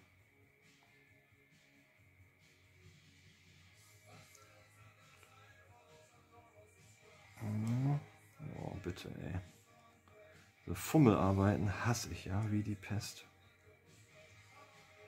Vielleicht einfach so reinsetzen und es versuchen mit dem Schraubendreher da irgendwie reinzudrehen. Ja, geschafft. Ah, ich finde, die sehen viel cooler aus. Äh, hier echt nochmal der Direktvergleich, auch von der Größe her. Ja, kann man ja ganz gut sehen. Und wie gesagt, kosten nichts, ne? So, weg damit. Jetzt muss ich natürlich auf Anschlag drehen hier beide. Sonst stehen die Zahlen nachher nicht. Machst ungefähr ne, Volumen ist vorne.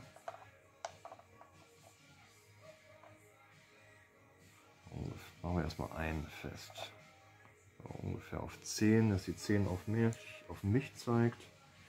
Kann man aber machen, wie man will. Und jetzt die Madenschraube fest. Ja, guck mal, Leute, das sieht doch echt cool aus. Dasselbe mit dem Tonregler. Auch ungefähr auf 10. Sieht auch schöner aus, wenn wir. Achso, die Schraube steht ein bisschen. So.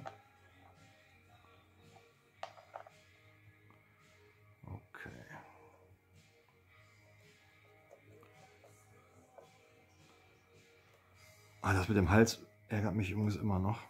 Dann werde ich den anderen wohl verkaufen. Warum steht das jetzt eigentlich ab? Ich weiß es nicht.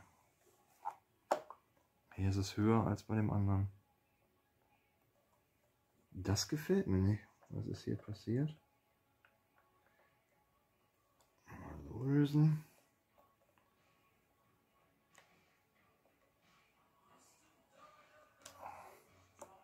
Naja, fällt von vorne nicht auf.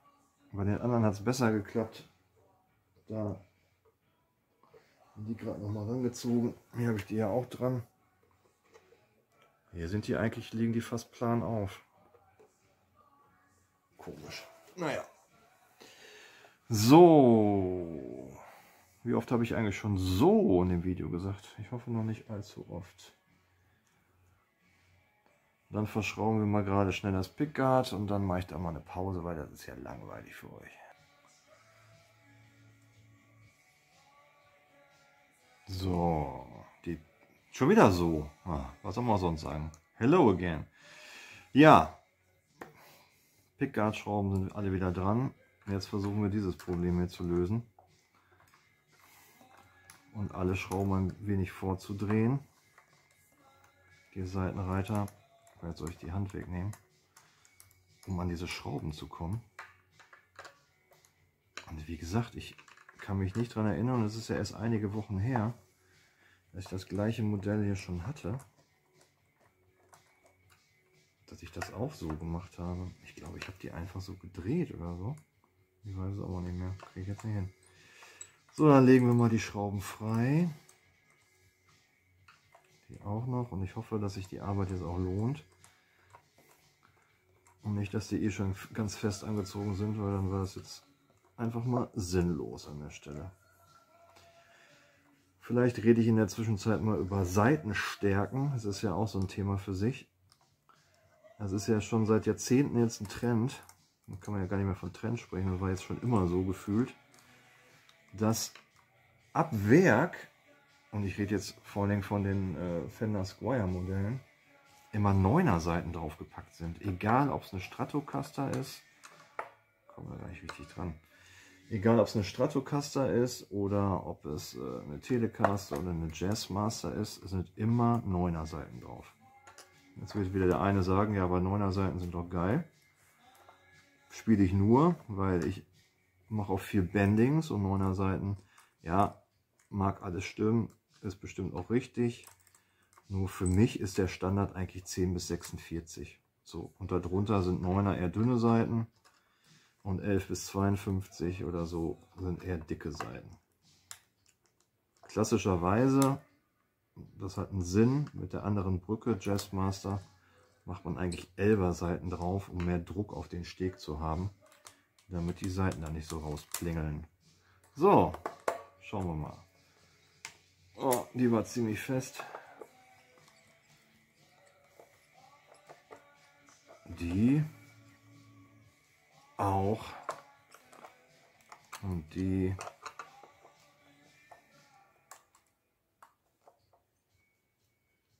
die auch. Habe ich den falschen? Ja. Krieg gar nicht richtig zu packen. Ja, ist alles bombenfest. Hätte ja auch anders sein können, äh, macht das aber auf jeden Fall, dass die Brücke richtig fest mit dem Body verbunden ist wo wir bei Gitarrenseiten waren, das wäre jetzt für mich der nächste Schritt. Ähm, wie gesagt, da sind 9er, 9 bis, äh, was ist der Standard? Ich glaube 42, 9 bis 42er Seiten drauf. Dementsprechend wurde dieser Plastiksattel, jetzt weiß ich nämlich auch mal, wer aus Deutsch heißt, Sattel, auch gekerbt. Ja, in den entsprechenden Seitenstärken. Wenn ihr da jetzt 10er draufpackt, das wird vielleicht noch gehen nach meiner Erfahrung. Äh, wenn ich da jetzt 11er, was ich auch schon ausprobiert draufpacken würde, dann sind diese Ritzen zu klein. Das heißt, die Seite liegt dann auf, jetzt habe ich den Namen schon wieder vergessen, das nennt man, ach Kinders, so ist das mit professionellen YouTubern. Ne, auf jeden Fall liegt die Seite, Sattel, legt die Seite dann hier auf dem, auf dem Sattel auf äh, und äh, eiert darum und äh, siert darum. Das ist keine gute Idee. Von daher, Zehner gehen meistens noch. Ansonsten müsst ihr halt euch Pfeilen besorgen. Die gibt es in allen Stärken. Und nicht tiefer machen, bloß nicht, sondern dass ihr ganz vorsichtig sozusagen diese äh, Ritzen nur dann erweitert, also in der, in der Breite breiter macht, aber nicht in der Tiefe. Weil ihr es in der Tiefe macht, dann könnte es sein, dass ihr nachher Probleme habt äh, mit dem Einstellen der Seitenlage etc. pp. So. Dann Seiten aufziehen. Kann man da was verkehrt machen? Ja, auf jeden Fall kann man da was verkehrt machen. Das sind übrigens die Standardseiten, die ich immer verwende. Ich finde die super, andere finden vielleicht andere super, aber äh, diese finde ich eigentlich total super von Dadario 1046. Ich würde lieber, wenn es denn ginge, ich habe aber auch keinen Bock mehr, äh, jetzt hier äh, an dem Sattel rumzuschrauben oder rumzusägen, rumzufeilen, eigentlich eher Elva draufpacken wollen, weil diese Gitarre schon sehr höhenreich ist und weniger besser hat. So, das ist bei Single Coils eigentlich immer so. So, dann wollen wir mal anfangen, was kann man alles falsch machen. Beziehungsweise vielleicht machen wir es eher positiver, wie macht man es richtig. Und das ist jetzt keine Besserwisserei, sondern ist einfach Erfahrung. So, jetzt geht's schon los. Ach, hier müssen wir auch noch das, die Folie mal abziehen. Das ging ja einfach. So, dann stecken wir das Ding mal da durch. Und hier wird schon schwieriger. Ja, geht nämlich schon. Hier sind wir gut durchgekommen. Bei dieser Art von Vibrato-Einheit, die da durch diese Löcher zu friemeln, das geht bei Telecastern und sonstiges viel, viel einfacher. So, ich ziehe das Ganze mal ein bisschen rüber mit der Kamera, dass wir jetzt mal hier liegen. So. Das sind ja wie gesagt Split-Shaft. Das heißt, man steckt die von oben rein und dreht. Wenn ich das jetzt machen würde, und ihr seht ja, wie diese Seite hier äh, lang eiert, äh, so viel Windung kriege ich überhaupt nicht hier drauf. So, das heißt, die Seite muss definitiv gekürzt werden. Wie viel muss ich die kürzen? Ich kann es euch nicht in Millimetern sagen. Äh, da gibt es auch äh, Anleitungen, Tricks. Ich gucke jetzt erstmal, wie weit geht das die Seite da überhaupt rein. Guck mal, so weit geht die Seite da schon rein. Also das heißt, diesen Abstand müsst ihr bei diesen Split-Shaft, zumindest Tunern, immer mitberechnen. So. Bei den anderen zieht ihr die Seite quasi hier durch so ein Loch durch, ne? So und dann seht ihr ja ungefähr, wie viel Platz die Seite nach hinten noch hat. Das ist in diesem Fall, weiß man es nicht. Ich würde jetzt mal vom Gefühl sagen, ich gehe mal bis zum zweiten Tuner vom Abstand her. Jetzt ist eh zu spät. So, dann stecken wir das Ding mal da rein. Einmal einklemmen. So. Und dann drücke ich und ziehe zeitgleich ich weiß nicht, ob man das so sehen kann, zeigt gleich die Seite hoch. Also nicht so und fange jetzt an zu drehen, sondern ich baue von Anfang an Spannung auf die Seite auf. So, die ist jetzt hier hinten, wenn man das sehen kann, ist sie jetzt stark gespannt. Ja, so, genau, ihr seht das. So mache ich das. Finger runter und gleichzeitig ziehen. Ja, dann fangen wir mal an zu drehen. Ne? Da kann man drehen jetzt ehrlich gesagt nicht so wahnsinnig viel falsch machen. Und was es eigentlich zu vermeiden gilt, was jetzt aber auch nicht so mega schlimm ist, viel wichtiger ist, dass man gleich nämlich die Seite dehnt, ist, dass es nicht zu viele Windungen sind. Vor allen Dingen nicht bei den Seiten. Äh, Gibt es auch einen englischen Fachausdruck, der mir jetzt gerade nicht einfällt, aber ihr seht ja, dass die dickeren Seiten noch so gerillt sind. Ne? Die haben so eine Rille. Hört man auch schön. Und nachher die dünneren Seiten haben, haben das ja nicht. Die sind ja total glatt. Da ist es nicht so wichtig. Aber eigentlich auch nicht so wahnsinnig viel Umdrehung. So. Das klingt doch schon ganz gut. Dementsprechend mache ich das jetzt weiter und wenn ich die Seiten aufgezogen habe, dann melde ich mich gleich wieder. Ach komm, ich habe mir gerade überlegt, während ich die Seiten aufziehe, was könnte man denn noch für Fragen an mich haben? Und was ich ganz oft in Foren lese, ist äh, mehr oder weniger so eine Einstiegsfrage, was ist die richtige Gitarre für mich? Tja, da finde ich es ganz entscheidend, übrigens auch bei Kindern, Jugendlichen, wenn ihr Eltern seid oder sonstiges, die sollen sich die Gitarre aussuchen, die sie erstmal optisch cool finden. So. Ja, das ist jetzt eher so die Kinder-Jugendabteilung, wobei ich auch sagen muss, äh, wenn ich eine Gitarre in der Hand habe, die kann noch so geil klingen und ich finde die optisch bläh, dann würde ich die nie kaufen oder mich damit auf eine Bühne stellen. So, ne? Also die muss optisch schon gefallen an der Stelle. Grob kann man ja sagen, es gibt natürlich P90 nochmal so ein bisschen als Zwischending. Das ist ein sehr outputstarker Single Coil im Endeffekt. Aber grob gibt es ja Single Coils und Humbucker. Single Coils klassischerweise drei Stück in der Stratocaster und eigentlich auch klassischerweise in der Telecaster. Äh, und Humbucker kennt man ja meistens von Gibson, Les Paul. Aber mittlerweile gibt es alles.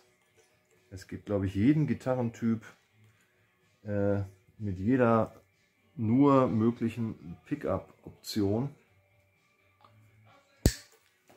Aber, ich habe ja vorhin eingangs schon gesagt, vor einer, gefühlt vor vier Stunden, erstmal einen guten Verstärker kaufen. Wenn man natürlich, ähm, es bieten sich einige Gitarren, aber dann wirklich mit der klassischen Pickup-Konfiguration äh, ähm, natürlich für bestimmte Musikgenres total an. So, also nicht ohne Grund spielen in vielen Country-Bands Gitarristen eine Telecaster. Ja, oder viele Rock-Gitarristen, nenne ich das jetzt mal, Gitarren mit Humbuckern oder eine Gibson Les Paul oder was auch immer. Das Problem ist, wenn ihr zum Beispiel sagt, naja, ich mache mach Heavy Metal, aber ich finde eine Stratocaster vom optischen so geil, dann werdet ihr Probleme kriegen, weil die Single Coils in der Stratocaster klassischerweise nicht so einen hohen Output haben. Das heißt, wenn ihr gewisse Lautstärke bei einem Verstärker haben wollt, müsst ihr den Verstärker dementsprechend laut drehen. Dann rauscht es wie Sau. Wenn ihr verzerrt, dann müsstet ihr dann noch einen, einen Rauschunterdrücker in eure Effekte da einbauen. Ähm, ja, also da muss man schon einiges modifizieren, um zu sagen, ich stelle mich mit einer klassischen Stratocaster auf die Bühne und mache damit Heavy Metal. So. Das kann man machen, wenn hinten in der Stratocaster, und dann sind wir aber wieder bei anderen Konfigurationen, hinten in der Stratocaster äh, ein Bridge Humbucker drin ist. Also ein Humbucker, der natürlich viel Output stärker ist. Ansonsten, ne, es gibt ja auch immer die Fragen und ich verstehe diese Fragen. Ich hatte diese Fragen auch damals alle.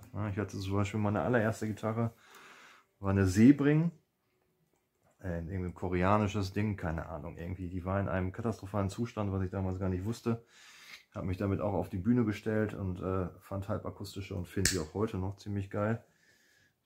Äh, auch vom optischen vor allen Dingen. Ähm, warte mal, so, was kommt da hin?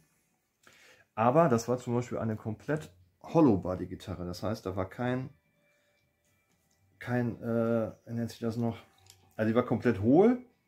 Und normalerweise jetzt in aktuellen äh, halbakustischen Gitarren ist da noch Holz in der Mitte verleimt, weil man sonst Feedback ohne Ende hat. So, und dann stand ich da in meinem Proberaum mit meinem ersten Marshall-Verstärker, dieser halbakustischen Gitarre.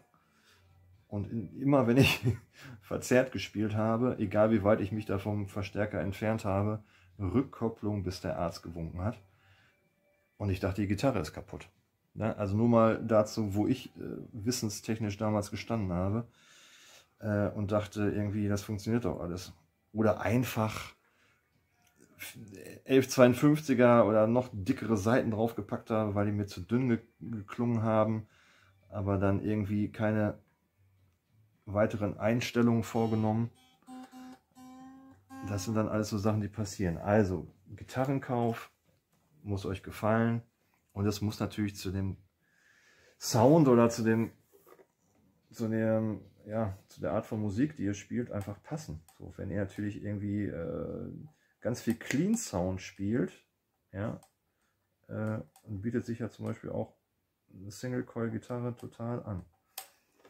Ich zum Beispiel persönlich mag überhaupt keine Stratocaster. So, das geht beim optischen los. Ich finde die nicht schön, ich will es mal so formulieren. Ich finde die einfach nicht schön, Stratocaster. Ich finde den Klang, vor allem in der Zwischenstellung, aber brillant. Das ist so ein schöner Clean Sound, äh, den nur eine Stratocaster in der entsprechenden Pickup-Konfiguration hinbekommt. Aber ich würde in meinem Band-Kontext, in meiner Band, mit meinem Verstärker und sonstiges, was ich vorhin schon angeführt habe, es wird einfach nicht klingen. So, für zu Hause, um einfach irgendwie schöne Soundteppiche zu machen, clean, was zu zupfen, zu spielen oder so, finde ich, geht nichts, äh, geht nichts über eine Stratocaster an der Stelle. Ähm, aber ich bin da ja eh ein bisschen anders gestrickt als viele, weil, das habe ich noch gar nicht gesagt, ich immer nur über den Halstonabnehmer spiele. So. Das fing mit der ersten Gitarre an und es hat sich fortgesetzt. Ich mag den Klang und wie gesagt, hunderte von Gitarren gespielt. Ich mag den Klang eines Bridge Humbuckers oder Single Coils überhaupt nicht. Ist mir einfach immer zu grell, zu wenig Bässe. Das hat ja mit der Lage des Tonabnehmers zu tun. Ja, umso weiter sieht man das jetzt hier. Ja, also ne, wenn ihr hier einen Ton abnehmt oder ob, ihr, ob der Ton hier abgenommen wird oder ihr mal hier hinten mal spielt. Das klingt ja jetzt auch schon unterschiedlich. wo ihr das anschlagt. Und dementsprechend schwingt da ja auch die Seite. Deswegen klingt der immer heller, greller. Ganz oft wird er verzerrt mit dem Stickhambacker gespielt und Soli dann mit dem Halshambacker. Ähm, so, aber ich spiele nur über die Halsposition.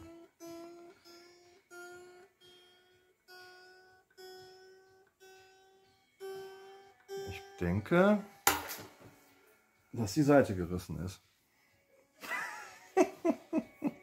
Tja, was macht man da? Eine neue Seite aufziehen. So viel zum Profi-Gehabe. Wo ist die denn jetzt hingeflogen? Ja, gut, dass wir noch, noch welche haben. Man sollte immer, ich kaufe mir immer diese Dreierpacks gleich, dass wir immer gleich eine Petto haben. Übrigens ist ein Top-Wetter draußen. Ich gehe hier total ein in der Sonne. Äh, aber eine gewisse Opferbereitschaft muss man schon an den Tag legen, wenn man den Leuten da draußen helfen möchte. So, dann friemeln wir das mal ab. Ja, ich bin sehr gespannt. Also ich bin auch immer offen für Kritik und sonstiges, aber schreibt bitte nicht so Sachen rein, weil da reagiere ich gar nicht drauf oder würde ich auch wahrscheinlich direkt löschen, weil ich das immer total albern finde ne, mit Kamerawinkel und sonstiges oder Quatsch nicht so viel. In dem Video geht es um Quatschen. In dem Video geht es darum, die Sachen, die mir aus den 30 Jahren einfallen, euch zu vermitteln, weiterzugeben. Wir kommen ja gleich noch zum, zum Einstellen der Seiten, zum Einstellen und so weiter. Da kommen wir ja gleich noch zu. Äh, und ob der Kamerawinkel stimmt oder ob irgendwas unscharf ist, wie gesagt, ich will jetzt das Video auch nicht dass der Eindruck entsteht und ich hoffe, der Eindruck ist nicht entstanden, dass ich einfach hier nur so hingerotzt habe. Aber ich bin kein professioneller YouTuber, ich kann es nur wiederholen. Also diese Kommentare in diese Richtung irgendwie, äh, wie gesagt, lasst doch einfach weg. Guckt euch dann ein anderes Video an, gibt noch genug andere Videos auf YouTube. Wobei ich sagen muss, eine Motivation, äh, dieses Video zu machen, vor allem auch auf Deutsch, ich hätte es auch auf Englisch machen können. ja, ich hatte zwar Englisch-Leistungskurs, das ist jetzt auch schon äh, 30 Jahre her. Ähm, der hätte ich mir wahrscheinlich komplett an, abgebrochen. Da hätte ich wahrscheinlich, wie gesagt, die besagten Anglizismen irgendwie äh, hier alle auspacken können, weil ich mir auch ganz viele Videos auf Englisch angucke. Das immer interessant finde, was andere Leute rumschrauben. Nein, warum ich das auf Deutsch mache, äh, es gibt ganz viele Videos beziehungsweise ja gar nicht so viele in der ganzen YouTube-Welt, weil die meisten natürlich auf Englisch, gibt es erstmal relativ wenig Videos, finde ich. Ähm, dann auch immer einen gewissen Genre entsprechende Videos oder halt irgendwann so, so ganz kurze äh, Tutorials. Aber ich finde es netter und deswegen legt euch gerne Kekse, Kuchen, Kaffee an die Seite, wenn ihr dieses Video guckt. Ähm, wenig Videos, die, ähm, ja, wie soll ich das sagen, die praktisch die Tipps aus dem letzten, jetzt spanne ich die diesmal aber nicht so stark an, kein Bock, dass sie wieder reißt. Oh, wir lassen das jetzt erstmal so. Ähm, ja, die sozusagen, ne, was macht man denn, wenn man so eine Gitarre kauft? Und darum geht es ja heute ja auch, neben den ganzen anderen Tipps, die mir dann so einfallen, ähm, weil ich verkaufe und kaufe relativ viel bei eBay Kleinanzeigen. Äh, da findet ihr mich unter Spenge, das ist die Stadt, in der ich lebe. Ihr habt da sicherlich schon am T-Shirt gesehen, Arminia Bielefeld. Da bin ich großer Fan von. Ähm, ja, und äh, wenn Leute persönlich vorbeikamen, irgendwie habe ich denen auch gerne geholfen und Fragen und äh, einige hatten mich dann immer angeschrieben und gesagt, Mensch, ey, die Gitarre ist so geil eingestellt irgendwie, äh, kann ich mit meinen anderen Gitarren auch vorbeikommen und das machen lassen? Grundsätzlich, und deswegen ist mein Nickname bei YouTube ja auch, helfe ich gerne, also Helping Hand heiße ich ja, helfe ich gerne, aber dazu fehlt mir einfach die Zeit. Ich muss das mal ganz klar so sagen. Also ich habe mir auch schon manchmal überlegt, eigentlich könnte man mal so ein so einen Workshop äh, VHS äh, Volkshochschule anbieten und alle bringen ihre Gitarre mit. Das fände ich cool, das würde ich auch machen. Aber dass ich jetzt für einzelne Leute irgendwie, und er wollte dann mit seiner, äh, ich weiß gar nicht mehr, also ich glaube in der Strat irgendwie für äh, von Pink Floyd, da von den Gitarristen für 5.000, 6.000 Euro. Und ich sollte die einstellen. Ich habe nur so gedacht, oh, und dann kommt ein Kratzer dran. Und dann haben wir den Ärger. Und nee, das wollen wir alles nicht. So, Seiten aufgezogen. Die, die Seitenreiter haben jetzt ja ungefähr alle den gleichen Abstand. Das kann never ever äh, oktavrein sein. Äh, das äh, würde mich doch arg wundern. Vielleicht kurz zu diesen, zu diesen Abständen der Seitenreiter. Es gibt ein Video, über das ich mich aufgeregt habe, im Sinne von, ich musste da auch meinen Kommentar drunter schreiben und der Autor hat auch zurückgeschrieben. Es gibt ein Video von einem großen äh, Gitarrenladen in Deutschland, ich weiß auch gar nicht mehr, welcher das war, ähm, der dann gesagt hat, ja, es muss, muss ja immer derselbe Abstand sein zwischen Sattel und Bridge und deswegen müssen die Seitenreiter genau in der Form, in diesem Abstand eingestellt sein. So, dann habe ich nur so gedacht, ja, das ist auch logisch, was er sagt an der Stelle. Äh, natürlich muss die Seite, wenn die genau die richtige Länge hat im Endeffekt, muss, muss sie ja in dem Fall jetzt äh, ein E sein und musste eigentlich auch oktavrein sein. Das mag sein, dass das für irgendwelche Custom Shop Gitarren äh, auch gilt, äh, die so exakt gearbeitet sind. Keine Ahnung, ich weiß nicht, woran es liegt. Ich kann nur die Gegenthese sagen. Und zwar habe ich ja jetzt hier nicht 300 äh, Gitarren rumliegen, äh, die ich alle mal hatte. Ja, aber wenn ihr euch jetzt zum Beispiel mal den Verlauf der Seitenreiter hier anguckt, so, der ist ja relativ gleich. Ja, machen wir ein bisschen noch hier rüber. So, die haben fast alle fast eine Linie, die sich ergibt als Muster, wenn ihr da jetzt so drauf guckt. Und diese Gitarre ist oktavrein. Die stimmt zu 99,9%, weil da bin ich echt pingelig an der Stelle. So.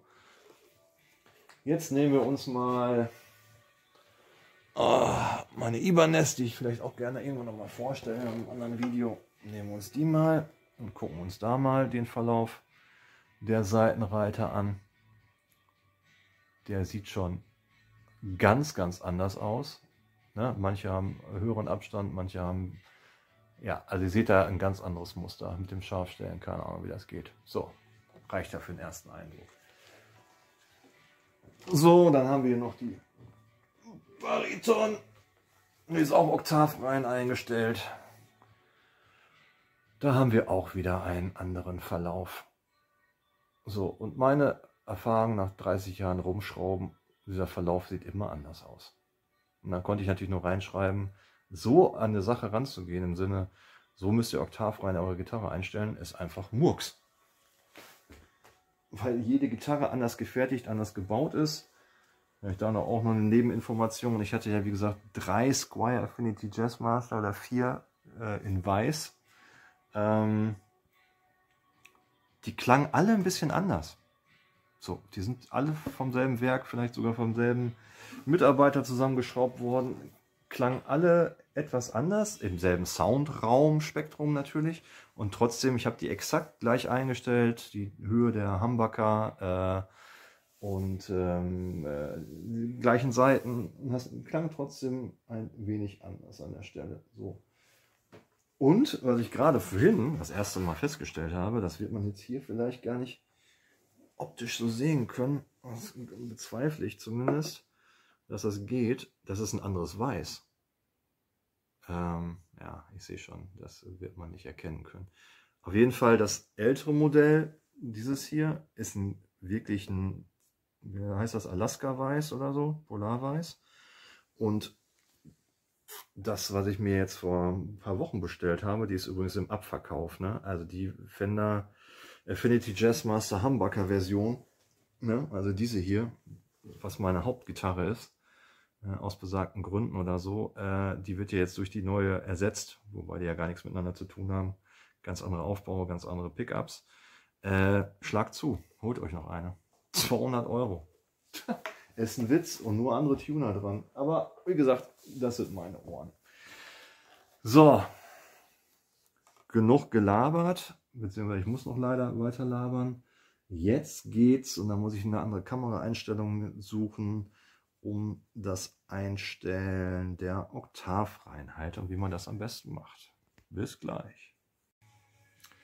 Mir ist noch was eingefallen, bevor wir jetzt zu den Oktavreinheit kommen äh, in der kurzen Pause, weil ich musste gerade mal was trinken, das ganze Gesabbel, ich bin das gar nicht gewohnt, auch nicht in irgendwelche Kameras zu gucken.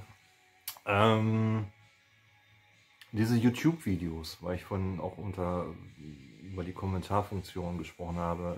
Schreibt mich gerne an, ich beantworte alle Fragen, will euch wie gesagt nur helfen. Ähm, ich weiß nicht alles, ich weiß aber viel. Und ähm, noch kurz zu diesen Videos, die ich auch gerne gucke, von diesen Musik von Session und Endertons und Thomann und äh, wie die alle heißen. Ähm, da klingen ja immer alle Gitarren geil. Da kannst du ja machen, was du willst. So. Man muss sich immer Folgendes, finde ich, äh, vergegenwärtigen. Die wollen ihre Gitarren verkaufen. So. Die Gitarren werden grundsätzlich über richtig gute Verstärker gespielt. Das Thema hatten wir schon. Kauft euch einen richtig guten Verstärker. Da klingen auch nicht so gute, günstige, wie auch immer Gitarren. Äh, wobei ich sagen muss, wie gesagt, für mich gibt es nur gute und schlechte Gitarren. Der Preis ist da äh, nicht so relevant und äh, sie müssen mir gefallen. Ähm, die wollen ihre Gitarren verkaufen. So, und die klingen echt immer gut. Also ich habe noch nie ein professionelles YouTube-Video gesehen, wo ich gedacht habe, die Gitarre klingt aber richtig, bläh, geht gar nicht. Sondern, ne, die klingen immer richtig gut. Wenn ihr nicht die Möglichkeit habt, äh, die, ich sag jetzt mal, den Musikalienhändler eures Vertrauens, ja, oder wo ihr sagt irgendwie, boah, er muss ich 150 Kilometer auf meinem Moped fahren, äh, nur um irgendwie Gitarren anzutesten, dann würde ich grundsätzlich sagen, doch, steig auf dein Moped und fahr 150 Kilometer. Weil vielleicht ist das echt jemand Nettes irgendwie, der natürlich auch Gitarren verkaufen will, aber auf dich als Kunden eingeht und dir nicht irgendwas einredet. Wenn ihr das Gefühl habt, er will euch irgendwas einreden oder will irgendwas verkaufen, wenn das im Vordergrund steht, äh, ja, dann dreht direkt um auf eurem Moped. Aber ansonsten gibt es ja jetzt sowas wie, und das ist jetzt keine Werbung für Thomann, ich werde hier ganz bestimmt nicht gesponsert, ja, ähm, bestellt die Gitarren, guckt sie euch an, testet sie und wenn sie euch gefallen, dann behaltet sie. Ja, und ähm, wenn sie euch nicht gefallen, schickt sie einfach zurück. Dafür gibt es das Rückgaberecht, dafür gibt es bei Thomann 30 Tage zurück Moneyback-Garantie. Ich nutze das äh, oft, ja, aber nicht im Sinne von irgendwie eher so, ach ja, jetzt teste ich mal die Gitarre, jetzt teste ich mal die, eigentlich will ich die gar nicht haben. Nee, nee, ich kaufe schon, weil ich die haben will. Und nicht nur, ich möchte jetzt mal wissen, wie die klingt, weil ich finde, das ist schon ein bisschen, wenn man das zu oft macht, äh, auch schon überlegt, dann sagt Thomas irgendwann so, jetzt ist aber auch Feierabend, irgendwie bestellst hier, keine Ahnung, äh, zehn Kasten Shop-Modelle nach dem nächsten, um zu gucken, wie die klingen und schickst du mal alle zurück. Nein, so natürlich nicht. So. Aber was, Witz, was Wichtiges und Witziges an der Stelle. Ähm, wie ich finde, nochmal ein wichtiger Hinweis. Ich habe mal bei eBay Kleinanzeigen eine Gitarre verkauft. Äh, ich glaube, diese Squire Telecaster Bullet, dieses Sparkle Red oder wie auch immer. Ja, war jetzt nicht so eine prickelnde Gitarre irgendwie und äh, wollte die halt verkaufen. So und in Bielefeld im Proberaum kam dann jemand vorbei der witzigerweise, aber das, nein, muss ich äh, von der Chronologie her anders erzählen. Der kam und testete die Gitarre, wir haben uns bei mir im Proberaum getroffen und war total begeistert von dieser Telecaster. So, und er hat die letzten Endes auch gekauft. Und als er so rausging, und da sind halt mehrere Proberäume, sagte er dann so, ähm, oder äh, ging er gar nicht mit runter die Treppe und blieb dann auf einer Etage stehen und ich so, wo willst du denn jetzt hin? Ja, in meinem Proberaum. Ich sage, wie? Ja, er wollte jetzt die Gitarre, er wollte jetzt direkt in den Proberaum mit der Gitarre dann spielen. Und da ich schon so gedacht habe, was machst du da? Also, du musst über dein Setup spielen und nicht irgendwie über das Setup eines anderen Gitarristen, äh, der vielleicht einen super Verstärker hat und einen super Box hat. Äh, ja, Ende vom Lied war, nachts schrieb er mich noch an, äh, ich müsste ja einen Wahnsinnsverstärker haben und Wahnsinnsboxen, weil über sein Setup äh, klingt die Gitarre nach Müll. Äh, er hat jetzt nicht gesagt, ich, du musst mir jetzt zurücknehmen, weil ich denke, ja, Junge, also wenn du doch nur eine Etage tiefer gehen musst, um deinen äh, Gitarrenverstärker über dein Setup zu spielen, irgendwie, äh, ne, dann ähm, schon blöd an der Stelle. So, also das heißt, wenn ihr auch eine Gitarre kauft, und die Fehler habe ich auch gemacht, ich habe ganz viele Fehler gemacht, und würde jetzt zum Beispiel diese Affinity Jazzmaster ne, und spiele hier über meinen Boss Katana in, in es ist zwar ein Einfamilienhaus, ja, aber in einer moderaten Lautstärke. Und das ist, wie gesagt, ein Transistor-Amp, der ist für zu Hause rumdengeln völlig in Ordnung, ja. Aber nehmt die mit in euren Proberaum, ja, spielt über euer Setup und dann könnt ihr, habt ihr eine gewisse Idee davon, ob die Gitarre gut klingt für euch weil das ist noch nicht alles. Weil wer in der Band spielt wie ich, ähm, und dann kommt der andere Gitarrist noch dazu und der Bassist und der Schlagzeuger. Und dann müsst ihr die Gitarre spielen. Und wenn sie dann gut klingt, dann behaltet sie.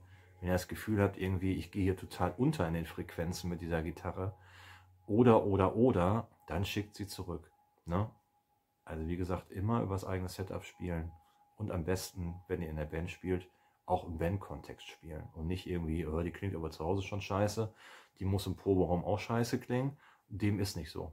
Das hatte ich auch schon, wo ich dir gedacht habe, boah, über den Boss Katana und der Boss Katana und ich, wir kennen uns noch nicht so gut, wir kennen uns erst seit einem Jahr, aber meinen Verstärker kenne ich schon einige Jahre. Ähm, und kam, kam dann im Proberaum und hat nur gedacht, okay, wow, spielt sich richtig gut. Ja, das nur nebenbei. So, jetzt muss ich einmal umbauen und dann geht es los mit der Oktav rein.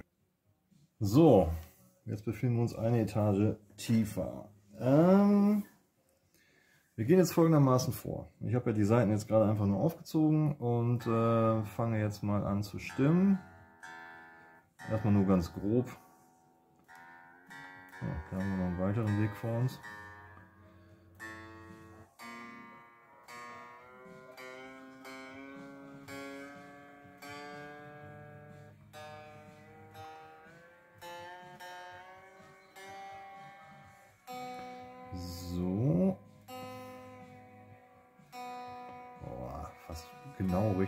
Aufgezogen, die Seite.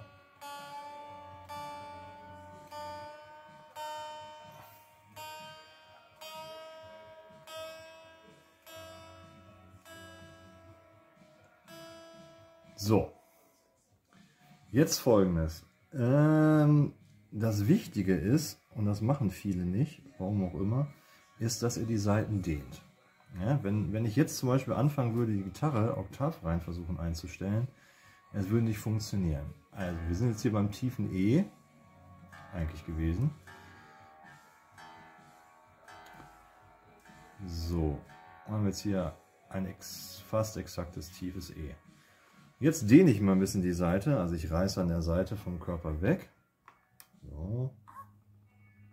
Mal gucken, was wir dann für einen Ton haben. Ein C, ein Cis. Ja, das heißt, die Seite hat sich noch wieder viel mehr gelockert. Also stimme ich wieder hoch bis E und ziehe wieder an der Seite und dehne sie in alle Richtungen. Da kann man ruhig bei der tiefen E-Seite auch ein bisschen mehr Kraft aufwenden. Bei den dünneren Seiten bitte nicht wie so ein Berserker dran rumreißen, weil sonst äh, reißen diese Seiten. So, und das macht ihr jetzt so lange, bis du daran rumreißen kannst, wie du willst. Und es dann trotzdem beim tiefen E bleibt. Na, ich mache das jetzt schon das vierte oder fünfte Mal. Gehe auch mal die ganze Seite lang. Ich kann das jetzt nicht mit zwei Kameras einfangen, aber ist ja klar, was ich hier mache. Ne? Ziehe halt an der Seite rum. So.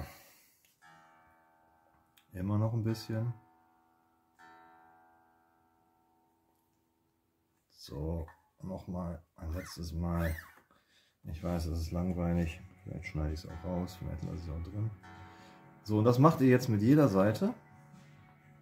Ich mache das jetzt auch gerade und dann melde ich mich wieder. Ach so, eine Besonderheit hat sich jetzt gerade ergeben, äh, muss ich mit dazu erklären. Wenn ihr eine Gitarre wie die Jazzmaster jetzt hier habt, mit der Vibrato-Einheit, ja, ähm, dann ist es so, dass wenn sich die, ja, wie soll man das jetzt erklären? Also wenn, wenn praktisch, je nachdem wie stark die Seiten gespannt sind oder nicht gespannt sind, bewegt sich ja die ganze Tremolo-Einheit im Body mit. Und wenn ich jetzt hier dann rumziehe und rumdehne, ja, zum Beispiel bin ich jetzt gerade ja dabei, die, die A-Seite einzustellen. So, Und das ist übrigens das vorhin perfekte E gewesen. Das ist jetzt ein F. Ich weiß aber, dass die Seite, weil ich die ja nur die tiefe E-Seite gemacht habe, dass sie richtig eingestellt war. Deswegen kümmert mich das jetzt nicht, nur dass euch das nicht irritiert. Also müsst jede Seite einzeln spielen, dehnen, bis das A das A bleibt, das G das G bleibt und so weiter und so fort. Und dann kann es, musst ihr trotzdem nochmal alle sechs Seiten stimmen weil sich, wie gesagt, diese Tremolo-Einheit, Vibrato-Einheit wieder verstellt hat. So, Gitarre, alle Seiten sind gedehnt, gestimmt.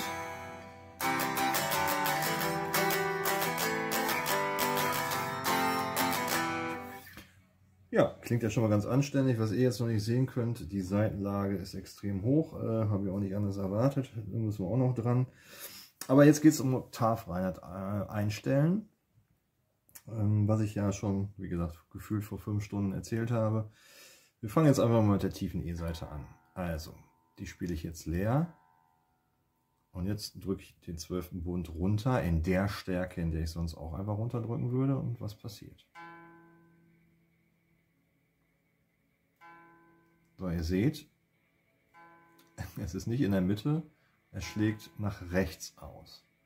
Was ihr jetzt machen müsst, was ich jetzt in der Kamera nicht einfangen kann, beziehungsweise ich probiere das einmal ganz kurz, aber ich hatte es eigentlich ja schon erklärt. Ich weiß nicht, ob das jetzt so geht. Mal gucken. Meine Gitarre, seht ihr die? Äh, äh, nicht so wirklich, ne? Ja, shitty. Ja, auf jeden Fall müsst ihr den Seitenreiter jetzt genau in diese Richtung auch bewegen, indem ihr da hinten die Schrauben an den Schrauben dreht. Ich mache das jetzt einfach mal.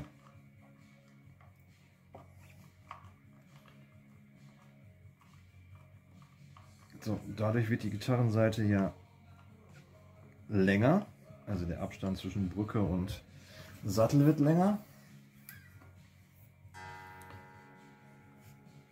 Da haben wir jetzt ein Fist. Das heißt, wir müssen jedes Mal, und das ist jetzt wirklich langwierig, das Ganze auf E wieder runterstimmen und gucken, was passiert ist. Jetzt greife ich wieder einen zwölften Bund. Immer noch. Und ich habe schon ein ganzes Stück gedreht und dann drehen wir halt noch mehr den Seitenreiter genau in die Richtung, den der Tuner im 12. Bund auch in die Richtung zeigt. So. Und wenn ihr euch vorstellt, diese ganzen Einstellarbeiten macht irgendeiner, in dem Fall jetzt hier in China. Und wie gesagt, ich, natürlich kann ich das jetzt auch schneller. Das ist ja jetzt nur aufgrund des Videos und warum ich so viel rumbrabbel. Aber die Zeit hat kein Mensch, diese Gitarre oktavrein einzustellen. Weiß nicht, ab welcher Preisklasse das möglich ist, aber in dieser Preisklasse auf keinen Fall. So, 12. Bund. Ah, es tut sich langsam was, aber da ist noch was zu gehen. So, und jetzt kann es sein, das hatte ich auch schon, und ich bin da wie gesagt sehr, sehr pingelig, dass ihr irgendwann an den Anschlag kommt. Das heißt, ihr könnt den Seitenreiter nicht mehr weiter nach, in dem Fall nach rechts bewegen. Dann, äh, ja, dann könnt ihr die Gitarre behalten oder direkt in Müll schmeißen, will ich nicht sagen, aber dann habt ihr einfach an dem Fall einfach mal eine Krücke erwischt, wo das nicht funktioniert. Ich würde mal sagen, Gefühl kommt das bei 100 Gitarren einmal vor. So, wieder 12. Bund. Ja, fast muss ich noch mehr dran drehen. Oh, jetzt es auch schon, kommen jetzt schon langsam in den Bereich, wo die Schraube sagt, viel mehr Space hast du nicht. Wird diese Gitarre noch heute im Müll landen? Wir werden sehen. So, Leerseite, E, zwölfter Bund. Ich glaube, ich dehne die Seite nochmal. Nicht dieses ganze Rumgezuckel. Ja, hab's geahnt. Naja, das ist echt mit dieser Vibrato-Einheit. Aber dadurch, dass ich jetzt die Seitenreiter verändert habe, ich könnte mir auch vorstellen, ja, dass die anderen Seiten sich teilweise auch verstimmt haben. Ja. So, E.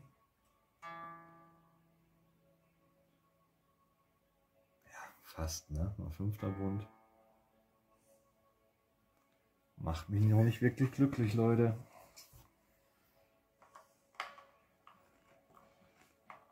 Aber mehr geht nicht. Mal gucken, was wir damit machen. Oder ich mache. Weil manchmal ist es auch so, warum auch immer das ist, dass sich über die Seitenlage auch noch was ergibt. So. Zwölfter Bund.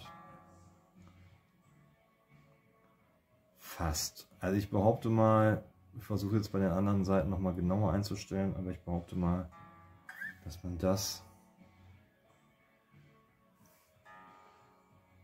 naja, mal gucken, ob ich es nachher raushören würde. Machen wir mal die A-Seite noch, weil wenn es jetzt da auch noch weitergeht, dann kann es sein, dass die zurückgeht. Dann wäre ich natürlich sehr, sehr traurig, weil man ja jetzt schon wieder einiges gemacht hat. Aber so ist das, wenn man wirklich eine perfekte Gitarre haben will. Okay, da müssen wir auch noch einiges in die Richtung schrauben. Dann muss man da schon einiges reinstecken an Arbeit. So, gucken, wo wir jetzt gelandet sind. Mhm.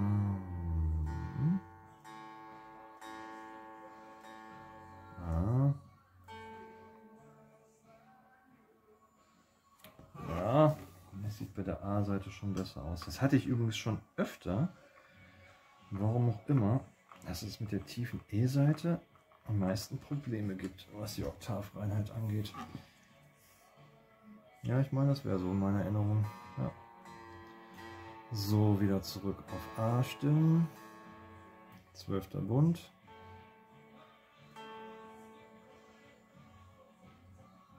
Mhm, fünfter Bund. Lass uns so oder noch ein bisschen. Ja. Ein bisschen noch.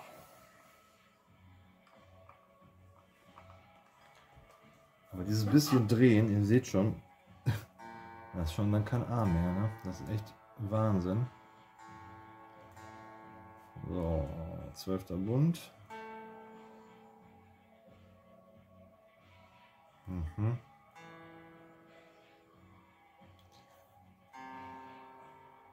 Sieht doch schon ganz gut aus. So, ich, wie ihr auch hört, ne, im Hintergrund laufen immer noch The Chameleons, aber ähm, greife ich jetzt in verschiedenen Bünden. Nochmal leer. Na, guckt, ist gar nicht so exakt. Und da wird es dann, wo ich dann recht pingelig werde. Es muss genau in der Mitte ein A sein, auch die Stimmung halten. Jetzt sind wir im fünften Bund. Zwölfter nochmal. Siebter. Zweiter. Ja, es muss halt überall ungefähr stimmen. Aber ich würde sagen, ein ganz kleines bisschen. Und so dann auch nochmal zum Thema, was ich ganz am Anfang hatte mit dieser Bund- und Oktavreinheit. Das wäre jetzt der Fall, wenn ich jetzt die A-Seite leer spiele. Ja. Und im zwölften Bund jetzt auch ein A habe, ja. Ein gutes A.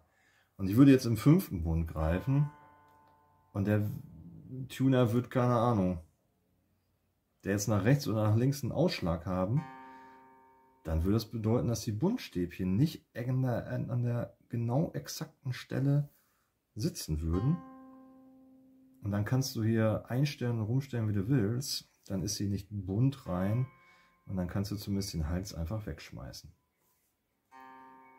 Weil da ein Buntstäbchen rausholen und da um einen Millimeter nach links oder rechts, vergiss es kannst du vergessen.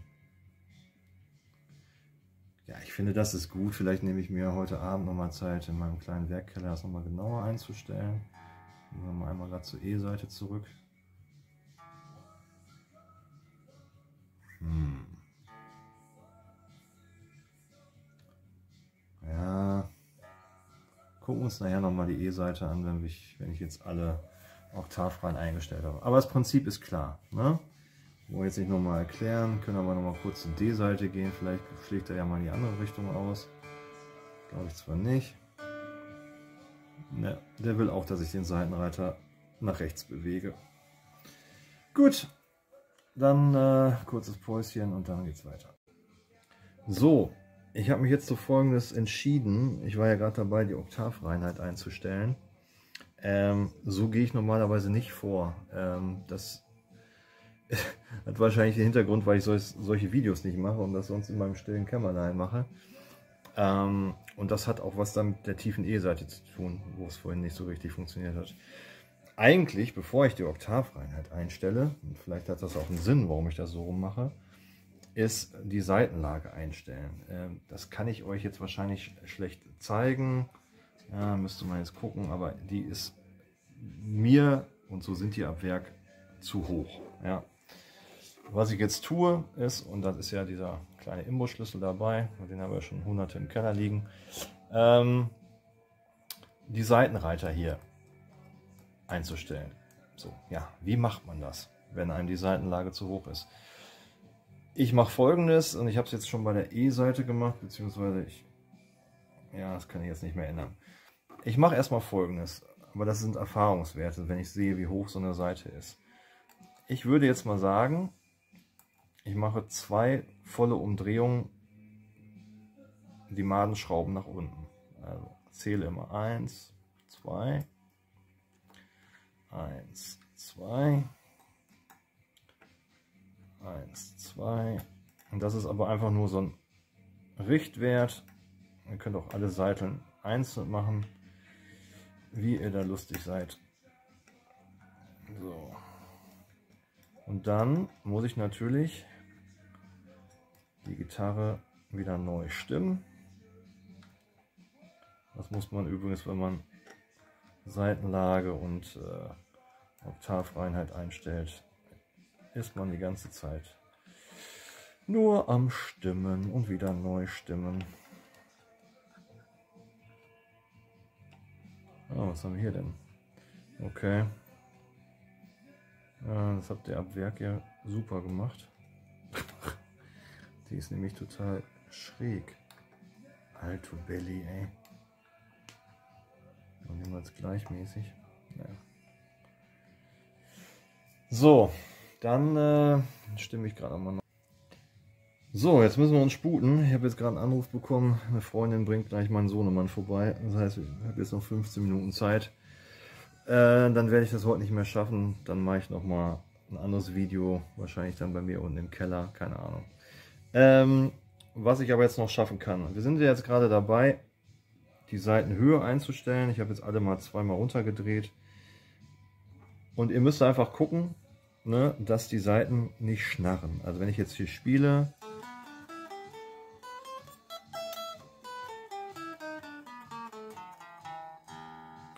Die sind aber immer noch so hoch, dass ich weiß, dass sie nicht schnarren werden. Aber wenn jetzt in tiefere Lagen kommen und sonstiges, müsst ihr halt am ersten Bund anfangen.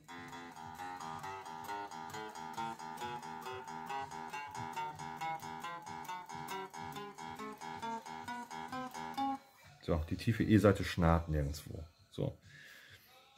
Und das macht ihr für jede einzelne Seite. Wenn die in den hohen Lagen anfängt zu schnarren, ja, ich kann das jetzt mal, mal ein bisschen extrem mal machen mit der D-Seite meinetwegen. Macht die jetzt mal relativ weit nach unten. So. Ja.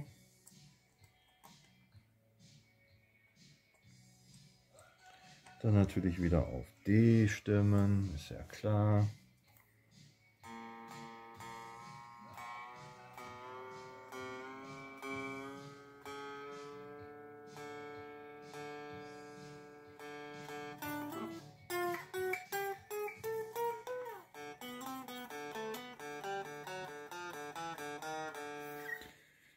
Okay, äh, die ist schon sehr, sehr tief äh, eingestellt und trotzdem, gut, wenn man härter anschlägt, hier vielleicht, so klingt eine Gitarre, eine Seite, wenn sie schnarrt, aber noch nicht wirklich extrem, also das könnte man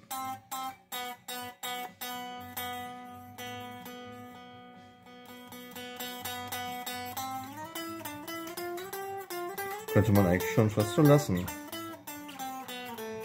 Also ist auf jeden Fall möglich, mit dieser Gitarre eine relativ niedrige Seitenlage einzustellen. Das ist ja schon mal gut. Wir brauchen nämlich ganz viele andere Dinge nicht mehr machen. Ja, mit Halsstab und so, das wie gesagt, das mache ich dann im zweiten Part oder im vierten, fünften, sechsten Part, der noch folgt. Äh, muss jetzt einfach hier einen Break machen und dann äh, sehen wir uns irgendwann wieder dann mache ich das Video komplett. Weil ihr seht es ja dann eh komplett. Nur für mich geht es jetzt heute hier erstmal nicht weiter. Weil mit dem kleinen Sohnemann, das wird nicht funktionieren. Okay, bis dann. Ja.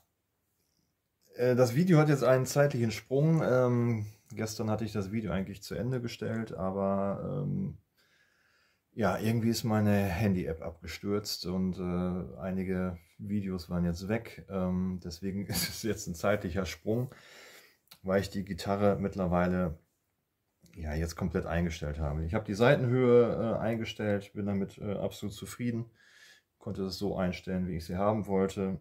Und auch die tiefe E-Seite ähm, ist jetzt fast perfekt äh, oktavrein und äh, ja, damit kann ich absolut leben. Ähm, ja, Kritikpunkt an der Gitarre bleibt ähm, dieser Hals, wobei ich sagen muss, ich habe jetzt noch ein bisschen die Gitarre gespielt. Beim Spielen selber fällt mir das nicht so auf mit diesem Skunk Stripe. Aber wenn man hier jetzt einfach wieder so darüber fühlt, das fühlt sich einfach echt nicht gut an. Das ist wie eine, wie eine Kante, über die man drüber geht, weil sich das Material auch komplett anders anfühlt. Also das war wirklich nicht, ist nicht gut gelöst von Squire und das ist jetzt das vierte Modell. Also das ist jetzt nicht diese Gitarre, sondern ich schätze, das wird dann an allen neuen Affinity-Modellen sein, wo hinten so ein Skunkstrap drauf ist. Anders kann ich mir das, äh, oder anders wäre es komisch, wenn das jetzt nur an diesen vier Modellen äh, gewesen wäre. Ja, die Tuner habe ich jetzt ja auch ein bisschen benutzt seit gestern. Ähm, ja, die werden definitiv getauscht. Die haben Spiel. Das fühlt sich irgendwie alles nicht gut an. Das ist aber nur ein Upgrade von 30, 35 Euro. Ähm, wie gesagt, es müsste eigentlich, ich behaupte das jetzt mal, eigentlich müsste man äh, erstmal so einen Tuner ausbauen. Ähm, aber das wird eine 10 mm Bohrung sein, gehe ich mal ganz stark von aus. Wenn es eine andere Bohrung ist, ja, dann hat man ein Problem, weil Tuner in einer anderen Größe zu finden ist dann nicht unbedingt leicht. Und aufbohren äh, habe ich ja vor Stunden da schon mal gezeigt. Äh, ja, das ist echt mühselig und äh, macht einfach keinen Spaß. Ähm, ich würde vorschlagen, ich spiele einfach mal die Gitarre, weil dann so weit sind wir noch gar nicht gekommen. Das ist ja dann das Schönste, wenn man alles perfekt eingestellt hat. Und ähm, so klingt übrigens eine, Stimme, äh, eine Gitarre, die jetzt auch oktavrein ist.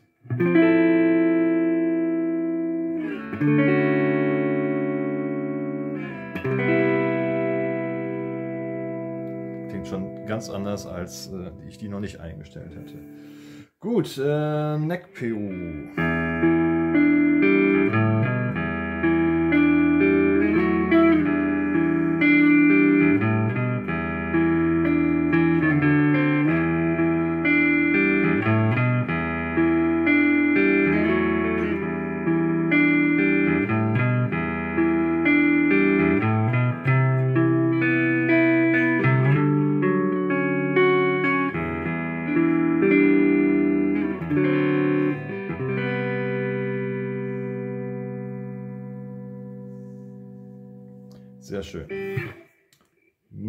Position.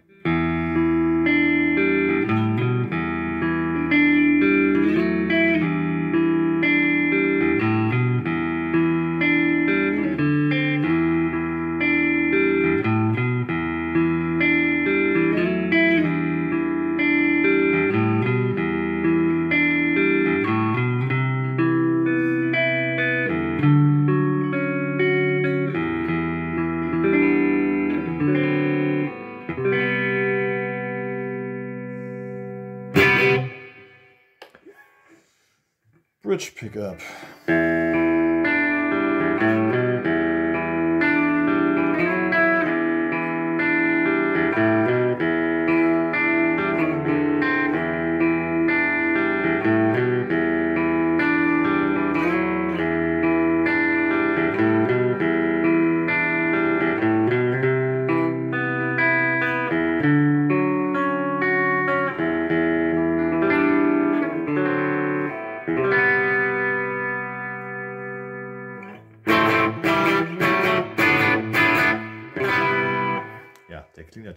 Heißer, viel greller und dadurch auch aggressiver.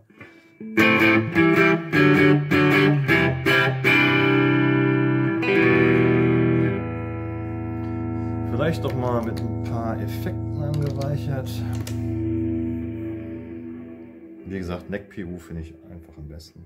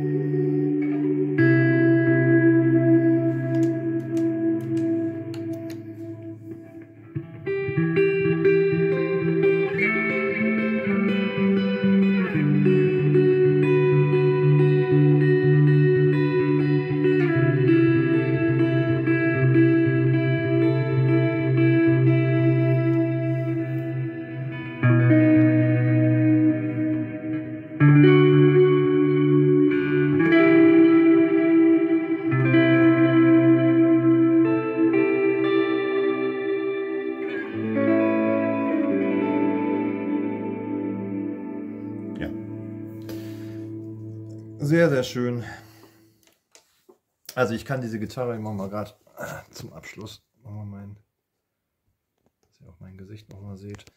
Ähm, ich kann die Gitarre absolut empfehlen.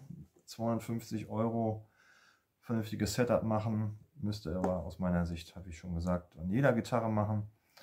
Äh, mal mehr und mal weniger. Ähm, was gibt es sonst noch zu sagen? Ja, vielleicht zum Abschluss nochmal ein, zwei Sachen.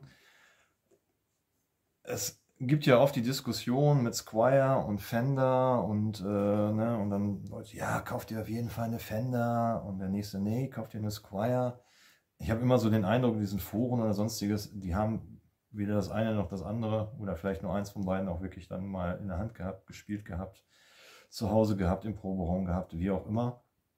Man muss sich, finde ich, immer Folgendes vergegenwärtigen. So, ähm, nehmen wir jetzt mal beispielhaft, bleiben wir mal bei der Jazzmaster. Es gibt aktuell von Squire die äh, Classic Wipe, ja, mit der klassischen Vibrato-Einheit. Die kostet so um die 400 Euro. So, wenn ihr das Pendant von Fender haben wollt, auch mit dieser Pickup-Konfiguration, auch mit dieser Vibrato-Einheit, seid ihr bei 1 oder 1,2. Nehmen wir mal einfach mal 1000 Euro. Das sind 600 Euro Unterschied. So.